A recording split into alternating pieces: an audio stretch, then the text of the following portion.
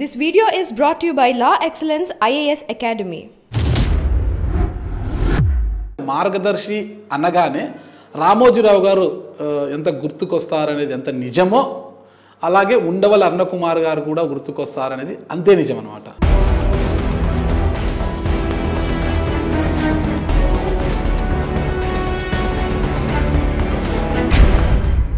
అసలు ఏం జరుగుతుంది? మార్గదర్శి ఏంటి అనేది అందరికీ గందరగోళంగా ఉంది.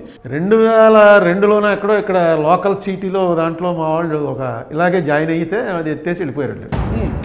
తర్వాత రెండు వేల ఐదులో మార్గదర్శి వారు లక్ష రూపాయల చీటీ అయితేనే మేము తీసుకుంటాం. మీది ఒక డెబ్బై వేల రూపాయల చీటీ అయిపోయింది. ఈ డబ్బు తీసేసుకోండి. లేదు లక్ష రూపాయలు ఇంకా ముప్పై వేలు పట్టుకొచ్చిస్తే లక్ష రూపాయల చీటీ అయితే రెన్యూ చేస్తాం. నాకు ఆ కాగితాలు అవి రెడీ పెట్టి ఉంచి నేను వస్తున్నాను రేపు రాజమండ్రి చూస్తానని చెప్పి ఇంటికి వెళ్ళి చూశాను. చూస్తే ఏమైంది? డెబ్బై వేలకి ఒక రసీదు ఉంది. ఆ రసీదు మీద సంతకం కూడా పేరు కూడా ఎవరిదో తెలియట్లేదు. ఇలా ఉందో గీత. ఏదో డిపాజిట్ చూపించొస్తారంటే డిపాజిట్ చూశాను.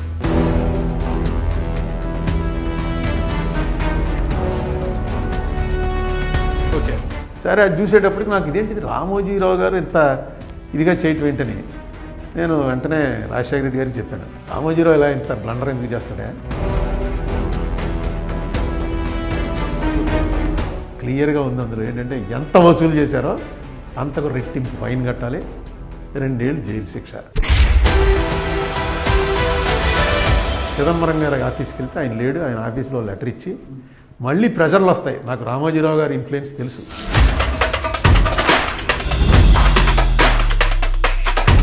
ఆయన ఒక వ్యాపారవేత్తగా ఒక మీడియా అధినేతగా అంత ఇన్ఫ్లుయెన్స్ చేయగలుగుతారంటారా? ఆయన ఎవరినైనా కొట్టాడు అనుకోండి మిమ్మల్ని కొట్టాడు అనుకోండి మీరు నన్ను కొట్టారు అని పోలీస్ స్టేషన్లో కంప్లైంట్ ఇస్తే వెంటనే ఆయన ఏం చెప్తాడంటే నేను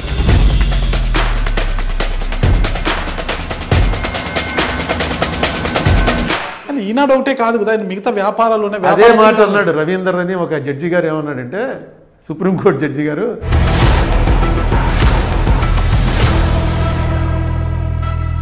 క్లియర్గా చెప్పాడు ఆ కేసు కొట్టివేసినా కూడా మళ్ళీ మీరు సుప్రీంకోర్టు తలుపు తట్టారు కదా. అసలు ఇక్కడ వచ్చిన ఇబ్బంది ఏంది అని హైకోర్టే చెప్పింది కదా. అగ్రిగోల్డ్ అందరినీ అరెస్ట్ చేసి లోపల పెట్టారు.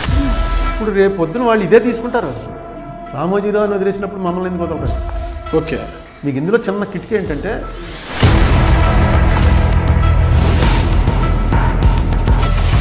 ఇది యాక్చువల్గా బయట తీసింది నేను కాదు. కర్ణాటకలో ఒక జర్నలిస్ట్ తీశాడు. మార్గదర్శి చార్టెడ్ అకౌంట్స్ గారు సమర్పించిన లెక్కల ప్రకారం తీసుకుంటే డిపాజిట్లు రెండు వేల ఏడు మార్చి ముప్పై చార్టెడ్ అకౌంటెంట్లు కానీ వాళ్ళు ఎలా సంతకం పెట్టేస్తున్నారో. రామోజీరావు గారు ఎవరికి పెద్ద డబ్బులు ఇచ్చి లంచాలు ఇచ్చి అలాంటి పరిస్థితి ఉండదు. ఒక్క రూపాయి ఎవరికి ఇవ్వడు. ఎందుకు సార్? చాడా రామోజీరావు అంటే భయం. ఇప్పుడు ఈ వేళ వచ్చి మీరు ఇలా ఇంటర్వ్యూలు అవి తీసుకునే పరిస్థితి వచ్చింది కానీ రెండు వేల ఆరు తర్వాత రామారావుని దింపేసిన రోజున మెజార్టీ నాదెండ్ల భాస్కర్ రావుకు ఉందా? రామారావుకు ఉందా? ఒకసారి చూసుకోండి. ఓకే. నాదెండ్ల భాస్కర్ రావుకు ఉంది. ఓకే. ఎలా తెలిసింది మనకి? మీరు ఎలా చెప్పగలరు? వాడు ఇటున్నవాడు అటు వచ్చాడని. ఓకే. చంద్రబాబు నాయుడు గారిది కరెక్ట్ రామారావు తప్పు అని. ప్రధానులైన ముఖ్యమంత్రులైన ఆయన దగ్గరికే వెళ్ళి కలుస్తారు. మరి అలాంటి వ్యక్తిని ఒక ఉండవల్లి అరుణ్ కుమార్ గారు కావచ్చు ఏపీ ప్రభుత్వం ఏం చేస్తుందంటారు అసలు? ప్రధానమంత్రిని వెళ్ళి రామోజీరావు గారు కలిశాడండి అవి రావు బయటికి. ఎప్పుడైతే అక్కడ మోడీ గారు పార్లమెంట్ జరుగుతుండగా పరిగెత్తి వెళ్ళి రామోజీరావు గారిని కలిశాడో అంతే కదా. మళ్ళీ ఊపిరి ఎలా వచ్చింది మీకు? జగన్మోహన్ రెడ్డి వచ్చి అతనే ఎస్ఎల్పి వేశాడు. ఓకే. ఆ వేళ ఎస్ఎల్పి అయిపోతే నా లెక్క ప్రకారం నా కేసు డిస్మిస్ అయిపోతుందని అనుకున్నాను. మరి ఈ నేపథ్యంలో మార్గదర్శి రామోజీరావుదా జీజే రెడ్డిదా? రామోజీరావు గారి బ్రదర్స్ సన్. ఆయన రాసిన బుక్ చివరికి మిగిలేదని ఏదో బుక్ రాశాడు ఈయన మీదే. అందులో ఏం రాశాడంటే రామోజీరావు గారు రామోజీరావు గారు పంపేవాడని రాశాడు. రెండు వేల ఆరులో రాజశేఖర రెడ్డి గారు మీ భుజం మీద తుపాకీ పెట్టి రామోజీరావు గారిని కాల్చాలని చూశారు. అది వీగిపోయింది. ఇప్పుడు ఆయన తనయుడు ఏపీ ముఖ్యమంత్రి వైఎస్ జగన్మోహన్ రెడ్డి గారు అదే ఉండవల్ల అరుణ్ కుమార్ గారు భుజం మీద తుపాకీ పెట్టి రామోజీరావు గారిని కాల్చడానికి చూస్తున్నారని తెలుగుదేశం పార్టీ వారు ప్రధానంగా ఆరోపిస్తున్నారు.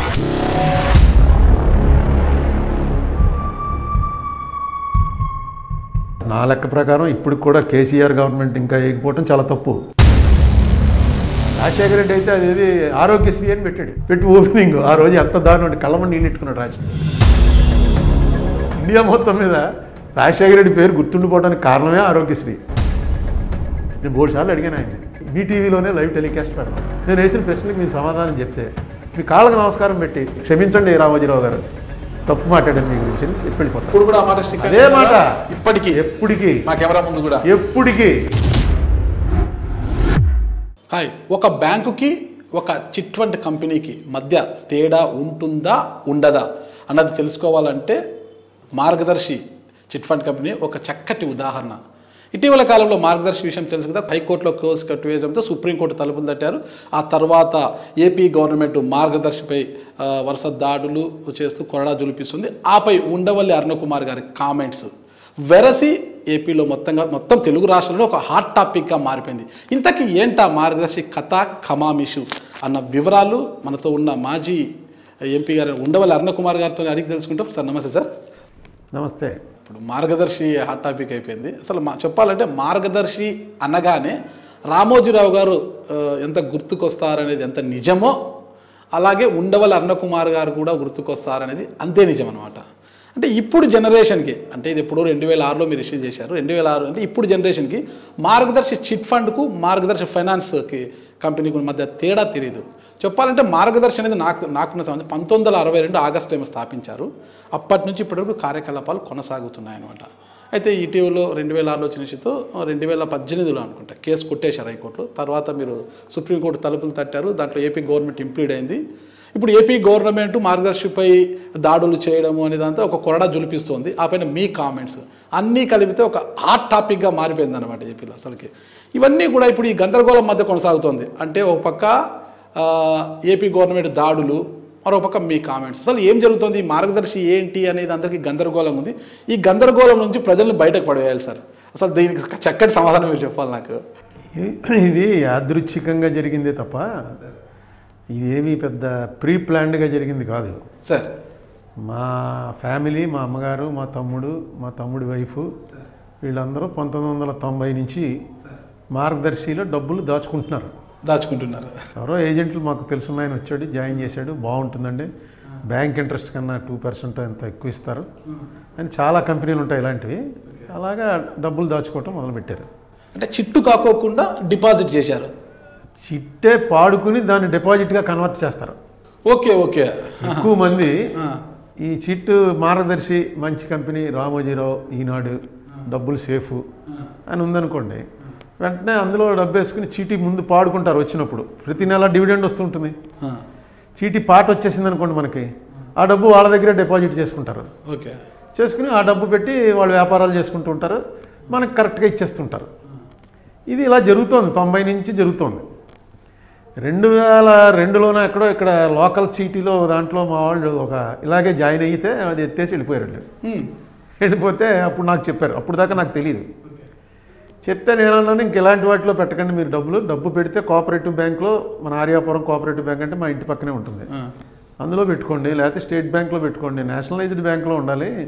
వాటి మీద ఎప్పటికప్పుడు రిజర్వ్ బ్యాంక్ చూస్తూ ఉంటుంది లెక్కలు చూస్తూ ఉంటుంది కరెక్ట్గా చేస్తున్నారా లేదా బోర్డు అంత ఇది ఉంటుంది. అలా ఉంటేనే ఎన్నో కోఆపరేటివ్ బ్యాంకులు ఎత్తేసారు నిరంతరం రిజర్వ్ బ్యాంక్ చెక్కింగ్లో ఉన్నవే ఎత్తేసారు అంటే వీళ్ళ వాళ్ళు అప్పుడు నాకు చెప్పలా ఎలా ఈనాడులో మార్గదర్శిలో పెట్టామని. తర్వాత రెండు వేల ఐదులో మార్గదర్శి వారు లక్ష రూపాయల చీటీ అయితేనే మేము తీసుకుంటాం. మీది ఒకటి డెబ్బై వేల రూపాయల చీటీ అయిపోయింది. ఈ డబ్బు తీసేసుకోండి. లేదు లక్ష రూపాయలు ఇంకా ముప్పై వేలు పట్టుకొచ్చిస్తే లక్ష రూపాయల చీటీ అయితే రెన్యూ చేస్తాం. లక్ష లోపు చీటీలు రెన్యూ చేయం అని చెప్పారు. చెప్తే సరే మా తమ్ముడు వచ్చి ఏం చేద్దాం ఇంకో ముప్పై వేలు కట్టమంటున్నారంటే అప్పుడు నేను ఎంపీ అయిపోయాను. సరే ఒకసారి అన్నయ్యని అడిగి చెయ్యి అంటే నాకు ఫోన్ చేశాడు. చేసి ఇలాగ అంటున్నాడంటే నాకు ఆ కాగితాలు అవి రెడీ పెట్టి ఉంచి నేను వస్తున్నాను రేపు రాజమండ్రి చూస్తానని చెప్పి ఇంటికి వెళ్ళి చూశాను. చూస్తే ఏమైంది? డెబ్భై వేలకి ఒక రసీదు ఉంది. ఏది వీళ్ళు పట్టుకెళ్ళి డిపాజిట్ సర్టిఫికేట్ ఇచ్చేశారు. ఇచ్చేస్తే అక్కడ లోకల్ ఆయన ఒక రసీదు ఇచ్చాడు. ఆ రసీదు మీద సంతకం కూడా పేరు కూడా ఎవరిదో తెలియట్లేదు. ఇలా ఉందో గీత. చూసి ఇదేంట్రా అంటే ఇంకా ఉన్నాయి ఐదు ఆరు డిపాజిట్లు ఏదో డిపాజిట్ చూపించోసారంటే డిపాజిట్ చూశాను. చూస్తే మార్గదర్శి కిందేమో రామోజీరావు గారి సంతకం. హెచ్యుఎఫ్ అని ఉంది. ఇదేంటి మార్గదర్శి చిట్ ఫండ్స్ కదా వీళ్ళది? ఈ మార్గదర్శి ఫైనాన్షియర్స్ అంటున్నారంటే? మీకు అది పంపిస్తాను అది కూడా చూపించండి ప్రజలకి. ఓకే సార్ పంపించండి. మార్గదర్శి ఫైనాన్షియర్స్ అని ఉంది ఏంటని అయినా ఎప్పుడైతే రామోజీరావు అని ఉందో కింద సంతకం రామోజీరావు ఎక్కడికి పోతాడు ఎక్కడికి పోడు? పర్లేదు తీసుకోండి డబ్బులు. ఇంకా వేయాలా వద్దా మీరు ఆలోచించుకోండి. కానీ ఈ చిట్ ఫండ్ ఫైనాన్షియర్స్ ఇది ఏంటో నాకు కన్ఫ్యూజన్గా ఉంది అని చెప్పి దాని ఫోటో తీసుకుని వచ్చాం. వచ్చి నేను ఎవరో మీలాంటి ఫ్రెండ్కి పంపించాను. ఇదేంటి ఇలా ఇచ్చాడు సర్టిఫికెట్ అని. వాళ్ళు ఆ డెబ్బై వేలు పేమెంట్ ఇవ్వాలి కదా ఆ పేమెంట్కి చెక్ ఇచ్చేశారు. ఆ చెక్ మీద ఏమనుంది? రామోజీరావు సంతకమే ప్రొప్రైటర్ అనుంది. ప్రొప్రైటర్ అనేటప్పటికి మీరే రెస్పాన్సిబిలిటీ అంతే correct proprietor partnership limited company మూడు రకాలు ఉంటాయి ప్రొప్రైటర్ చేసేటువంటి వ్యాపారంలో ఎన్ని అప్పులు చేసినా ఆ ప్రొప్రైటర్ దివాళా తీసాడంటే అవన్నీ పోయినట్టే. వాళ్ళ తమ్ముళ్ళకి అన్నలకి వాళ్ళకి ఎన్ని ఆస్తులున్నా అవన్నీ పోయినట్టే. దివాళా తీసినా చచ్చిపోయినా ఏం జరిగినా సరే ప్రొప్రైటరీ కన్సర్న్ అంటే అతను ఉన్నంతకాలమే అతను ఏమన్నా మనకు తనఖా పెడితే తనఖా మీదకి వెళ్ళొచ్చు తప్ప ప్రామిసరీ నోట్ రాసి ఇచ్చిన వాడు చచ్చిపోయాడు అనుకోండి అతనికి ఆస్తులు ఏమి లేవనుకోండి మన డబ్బు పోయినట్టే. ఓకే. అదే కంపెనీ అనుకోండి ఆ కంపెనీ ఆస్తులు వాటి మీదకి వెళ్ళొచ్చు. కంపెనీ అంటే ఒక జ్యూరిస్టిక్ బాడీ అదే పార్ట్నర్షిప్ ఫర్మ్ అయితే మీ పార్ట్నర్స్ మీదకి వెళ్ళొచ్చు. ఓకే. ప్రొపరైటర్ అంటే మీ మీదే మీదే సంతకమే లెక్క. నేను ఏంటి రెండు ఇంత తేడా వచ్చింది? హెచ్యుఎఫ్ అని ఇక్కడ రాశారు ప్రొపరైటర్ అని ఇక్కడ రాశారు ఈ రెండు ఏంటని అది తెలుసు నాకు ఫ్రెండ్స్ లాయర్లు ఆడిటర్లు చాలామంది ఉన్నారు. మీరు లాయర్ అయ్యారు సార్? నేను లాయర్ అయినా నేను రెగ్యులర్ కోర్టుకి వెళ్ళి ప్రాక్టీస్ చేసి తక్కువ. ఎప్పుడు ఈ మధ్య వెళ్తున్నాను కానీ బాగా తక్కువ. సరే వెళ్ళిన వాళ్ళు వాళ్ళని వాళ్ళంతా చూసి ఏం చెప్పారంటే నూనెను ఇది తప్పిది. ఈ ఆయనకి రామోజీరావు గారికి కలెక్ట్ చేసేటువంటి హక్కు లేదు. ఓకే. డిపాజిట్లు డిపాజిట్లు కలెక్ట్ చేయటం అనేది పంతొమ్మిది వందల తొంభై ఏడులో అనుకుంటాను. రిజర్వ్ బ్యాంక్ ఆఫ్ ఇండియా యాక్ట్కి చిన్న అమెండ్మెంట్ ఇచ్చి ప్రోహిబిట్ చేశారు. చేసి ఓన్లీ ఇన్కార్పొరేటెడ్ అంటే కంపెనీలు మాత్రమే. అవి కూడా రిజర్వ్ బ్యాంక్కి తెలియజేసి కంపెనీలు మాత్రమే ఇలా వసూలు చేయడానికి అర్హత ఉంది తప్ప ఇంకెవరూ చేయకూడదంటే చాలా క్లియర్గా ఒకవేళ మీరు చేయదలుచుకుంటే ఎవరి దగ్గర చేయొచ్చు అన్నది కూడా క్లియర్గా ఇచ్చారు. ఇరవై ఒక్క మంది. మీ పెళ్ళం పెళ్ళం తమ్ముడు మీ సొంత తమ్ముడు మీ అన్నయ్య అవన్నీ రాశారు. ఫార్టీ ఫైవ్ ఎస్ ఒకసారి చూడండి. అందులో ఎక్స్ప్లెనేషన్లో క్లియర్గా రాశారు. హెచ్ఈఎఫ్లో సభ్యుడి దగ్గర అప్పు చేయొచ్చు. ఓకే. మీ జాయింట్ ఫ్యామిలీ ఉంది. వాడి దగ్గర డిపాజిట్ తీసుకోవచ్చు మీరు. లేదు మీ తమ్ముడు జాయింట్ ఫ్యామిలీగా లేకపోయినా మీ తమ్ముడు వాళ్ళు వాళ్ళదే ఇరవై ఒక్క పేర్లో వీళ్ళ దగ్గర మాత్రమే డిపాజిట్లు తీసుకోవడానికి అవకాశం ఉంది. ప్రజల దగ్గర డిపాజిట్లు తీసుకోవాలంటే ఖచ్చితంగా అది ఇన్కార్పొరేట్ అయి ఉండాలి. రిజర్వ్ బ్యాంక్ దాంట్లో లిస్ట్లో పెట్టాలి. ఓకే. అని రూలు. సరే అది చూసేటప్పటికి నాకు ఇదేంటిది? రామోజీరావు గారు ఇంత ఇదిగా చేయటం ఏంటని నేను వెంటనే రాజశేఖర రెడ్డి గారికి చెప్పాను. ఏమంటే రామోజీరావు గారిది ఇలా ఉందంటే ఆయన కూడా నమ్మలే. ఇదేం తేడా? ఎక్కడో ఏదో పర్మిషన్ తీసుకుని ఉంటాడు రామోజీరావు ఇలా ఇంత బ్లండర్ ఎందుకు చేస్తాడే? అన్నాడు ఏమో ఇంత క్లియర్గా చెప్తున్నారండి. ఇదిగో పలానా ఆయన పలానా వాళ్ళ పేర్లు చెప్పేటప్పటికి వాళ్ళు చెప్పారా? నాగరాజా నాగరాజు చెప్పాడా. చూశాడా నాగరాజు? అంటే ఒకసారి మాట్లాడండి సార్ నాగరాజు తోటి. సరే మొత్తానికి చూస్తే ఇది టోటల్గా ఇల్లీగల్. ఓకే. క్లియర్గా ఉంది అందులో. ఏంటంటే ఎంత వసూలు చేశారో అంతకు రెట్టింపు ఫైన్ కట్టాలి. రెండేళ్ళు జైలు శిక్ష. ఇది ఎందుకు పెట్టారంటే అప్పుడు అన్ని కంపెనీలు ఎత్తేస్తున్నారు. ఈయన కూడా ఈయన అప్పుడు అడిగితే ఈయన అప్పుడు కల అప్పటికే అరవై నుంచే కలెక్ట్ చేస్తున్నాడు ఈయన. రిజర్వ్ బ్యాంక్ వాళ్ళు అడిగితే వాళ్ళకి రాసి ఇచ్చేసాడు నేను ఆపేస్తున్నాను ఓన్లీ లక్ష రూపాయలు పైవి చీటీలు ఆపడం కష్టం కాబట్టి నాకు కొంచెం టైం కావాలి కాబట్టి నాకు రెండేళ్ళు మూడేళ్ళు టైం ఇవ్వండి మొత్తం వెనక్కి ఇచ్చేస్తానని ఆయన రాసినటువంటిది. ఆ టైం అయిపోయి మూడేళ్ళు అయింది ఇంకా ఆయన వసూలు చేస్తూనే ఉన్నాడు. సో నేను వెళ్ళి ఏం చేశానంటే ఇది రిజర్వ్ బ్యాంక్కి సంబంధించిన విషయం కాబట్టి చిదంబరం గారి ఆఫీస్కి వెళ్తే ఆయన లేడు ఆయన ఆఫీస్లో లెటర్ ఇచ్చి మళ్ళీ ప్రెజర్లు వస్తాయి. నాకు రామోజీరావు గారి ఇన్ఫ్లుయెన్స్ తెలుసు. మళ్ళీ నాగరాజు ఫోన్ చేస్తాడు ఏంటో అక్కడ కాగితం పెట్టావుట? తీసేసుకొని. ఇలా రకరకాల ప్రెజర్లు వస్తాయని ఢిల్లీలోనే ప్రెస్ మీట్ పిలిచి వెంటనే చెప్పి ప్రెస్కి చెప్పేస్తే అయిపోయిందిగా మన బాధ్యత. ప్రెస్కి చెప్పేసి ఇది ఆ ప్రెస్ కూడా చాలా జాగ్రత్తగా చెప్పాను. ఇది అబద్ధం కావాలని కోరుకుంటున్నాను నేను. దొరికితే ఒకసారి చూడండి. అది వేయండి బాగుంటుంది ఇంట్రెస్టింగ్గా. ఇదంతా కూడా నాకు వచ్చిన ఇన్ఫర్మేషన్ అంతా అబద్ధం కావాలని కోరుకుంటున్నాను. రామోజీరావు గారు లాంటి వ్యక్తి ఇలాంటి ఇల్లీగల్ వ్యవహారాల్లో డెలివరీట్గా వెళ్ళిపోతే ఏం మెసేజ్ వెళ్తుంది? అందుకని ఇది అబద్ధం కావాలని కోరుకుంటున్నానని చెప్పాను. నా వరకు అయిపోయింది అసలు. నిజంగా అది అక్కడతోటి క్లోజ్ ఆయన ఇప్పుడు మీరు ఒక్క మాట అన్నారు సార్ మధ్యలో. రామోజీరావు గారు ఎంత ఇన్ఫ్లుయెన్స్ చేయగలరో నాకు తెలుసు అన్నారు. ఆయన ఒక వ్యాపారవేత్తగా ఒక మీడియా అధినేతగా అంత ఇన్ఫ్లుయెన్స్ చేయగలుగుతారంటారా? ఆయన మీడియా అధినేతగానే మాట్లాడతాడు ఏ కేసు వచ్చినా సరే. ఓకే.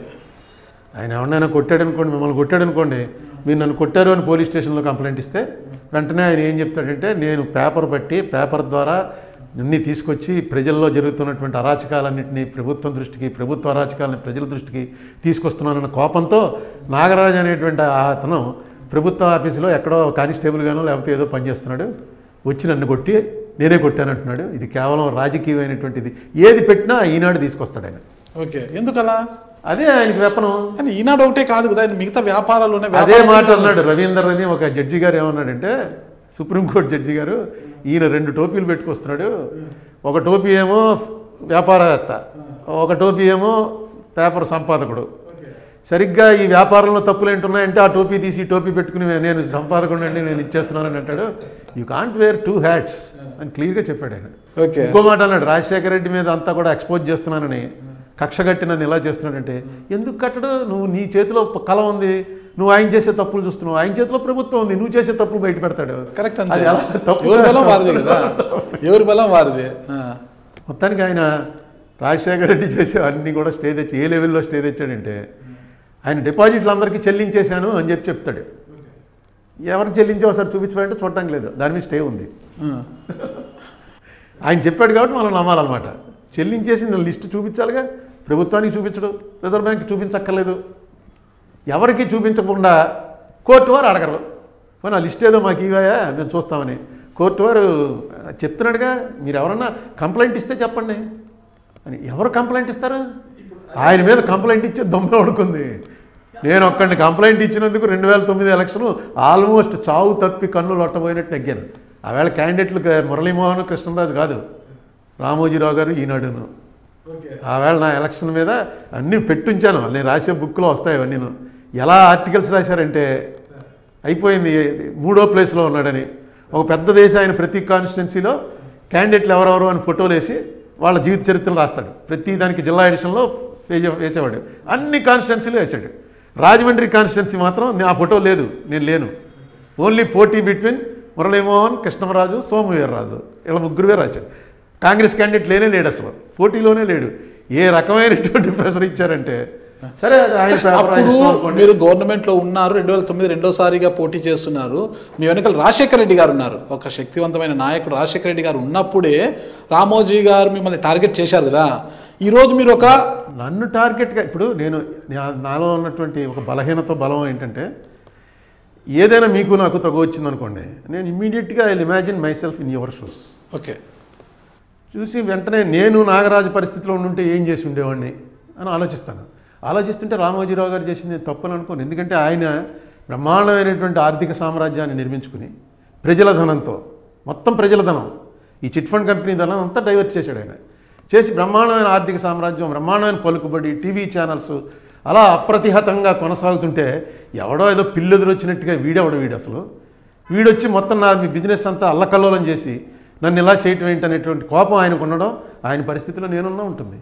వీడు. నామరూపాలు లేకుండా చేసేయాలి. అందులో ఆయన మెంటాలిటీయే ఆయన బంధువుల దగ్గర నుంచి ఆయన కొడుకు దగ్గర నుంచి ఆయన తోడోళ్ళ దగ్గర నుంచి ఆయన దగ్గర బంధువులు అందరూ వచ్చి టీవీలోకి వచ్చి చెప్పారు. మీ టీవీలో ఆయన తోడంటే డాల్ఫిన్ అప్పారావు. Okay okay. అసలు ఆయన పేరే డాల్ఫిన్ అప్పారావు. డాల్ఫిన్ పెట్టిందే ఆయన.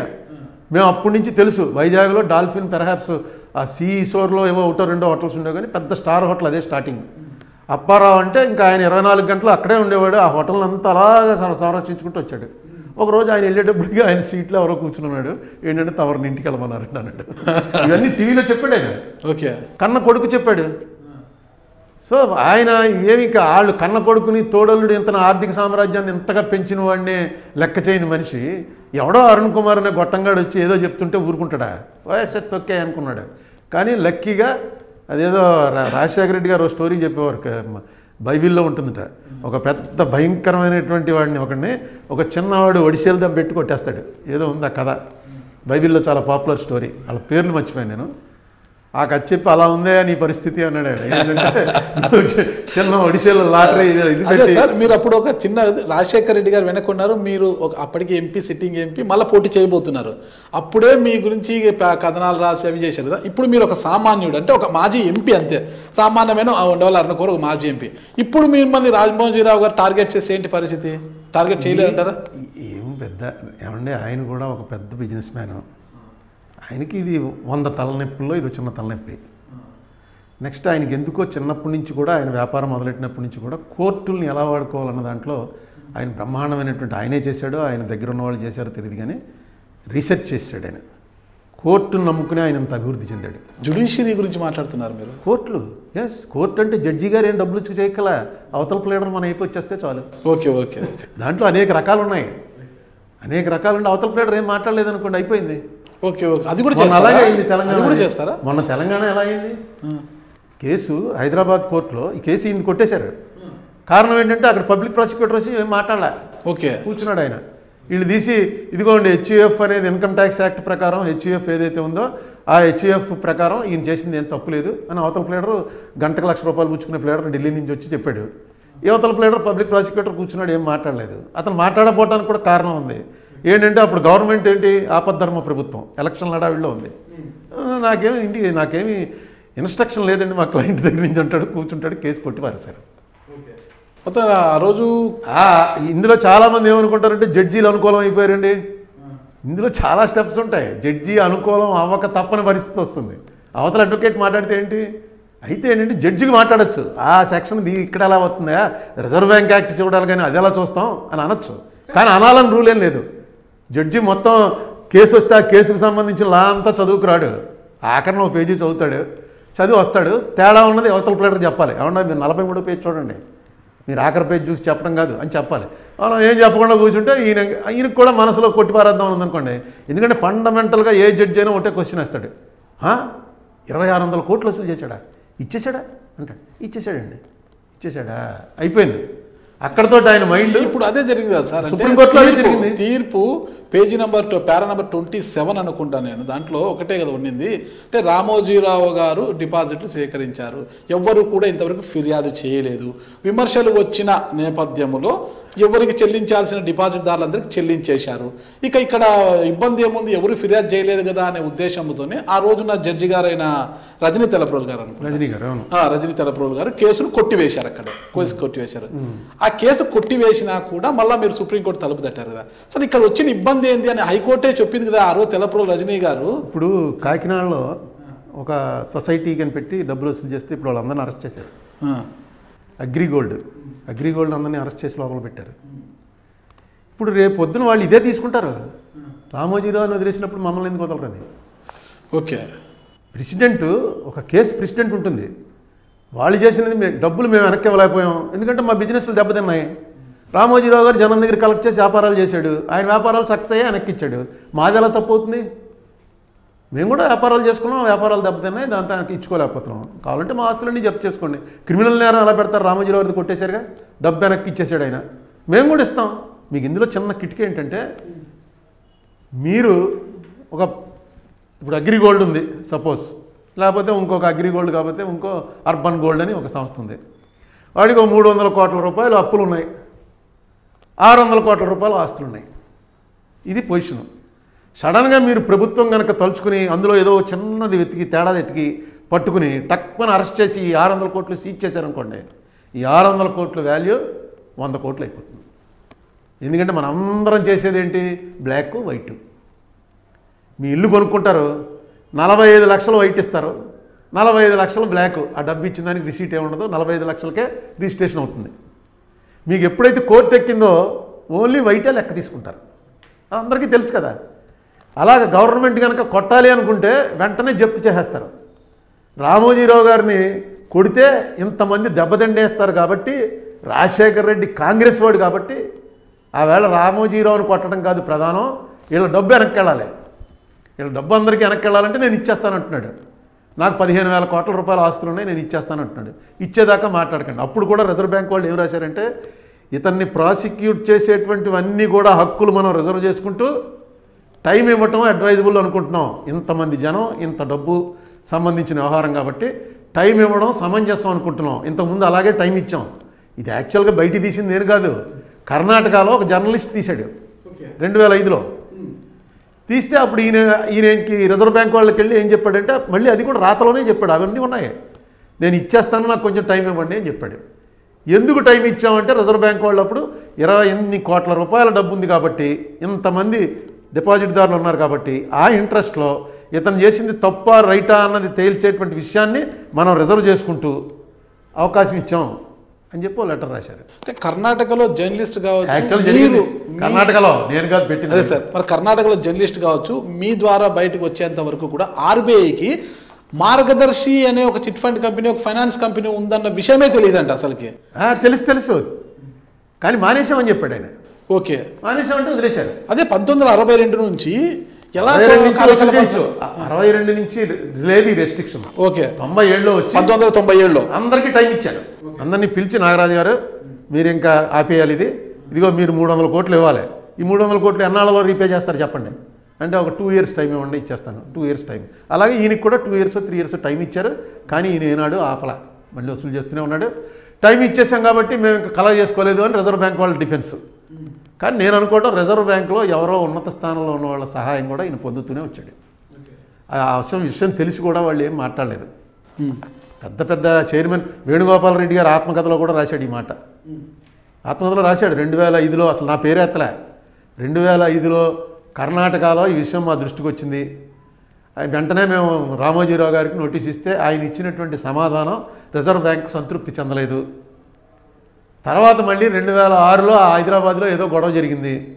ఇప్పుడు అదంతా సద్దుమణిగిపోయింది కాబట్టి బహుశా ఆ డబ్బులు వెనక్కి ఇచ్చేసి ఉంటాడని అనుకుంటున్నాను. ఇదే ఆయన తెలుగులోనే రాశాడు. వేణుగోపాల్ రెడ్డి చైర్మన్.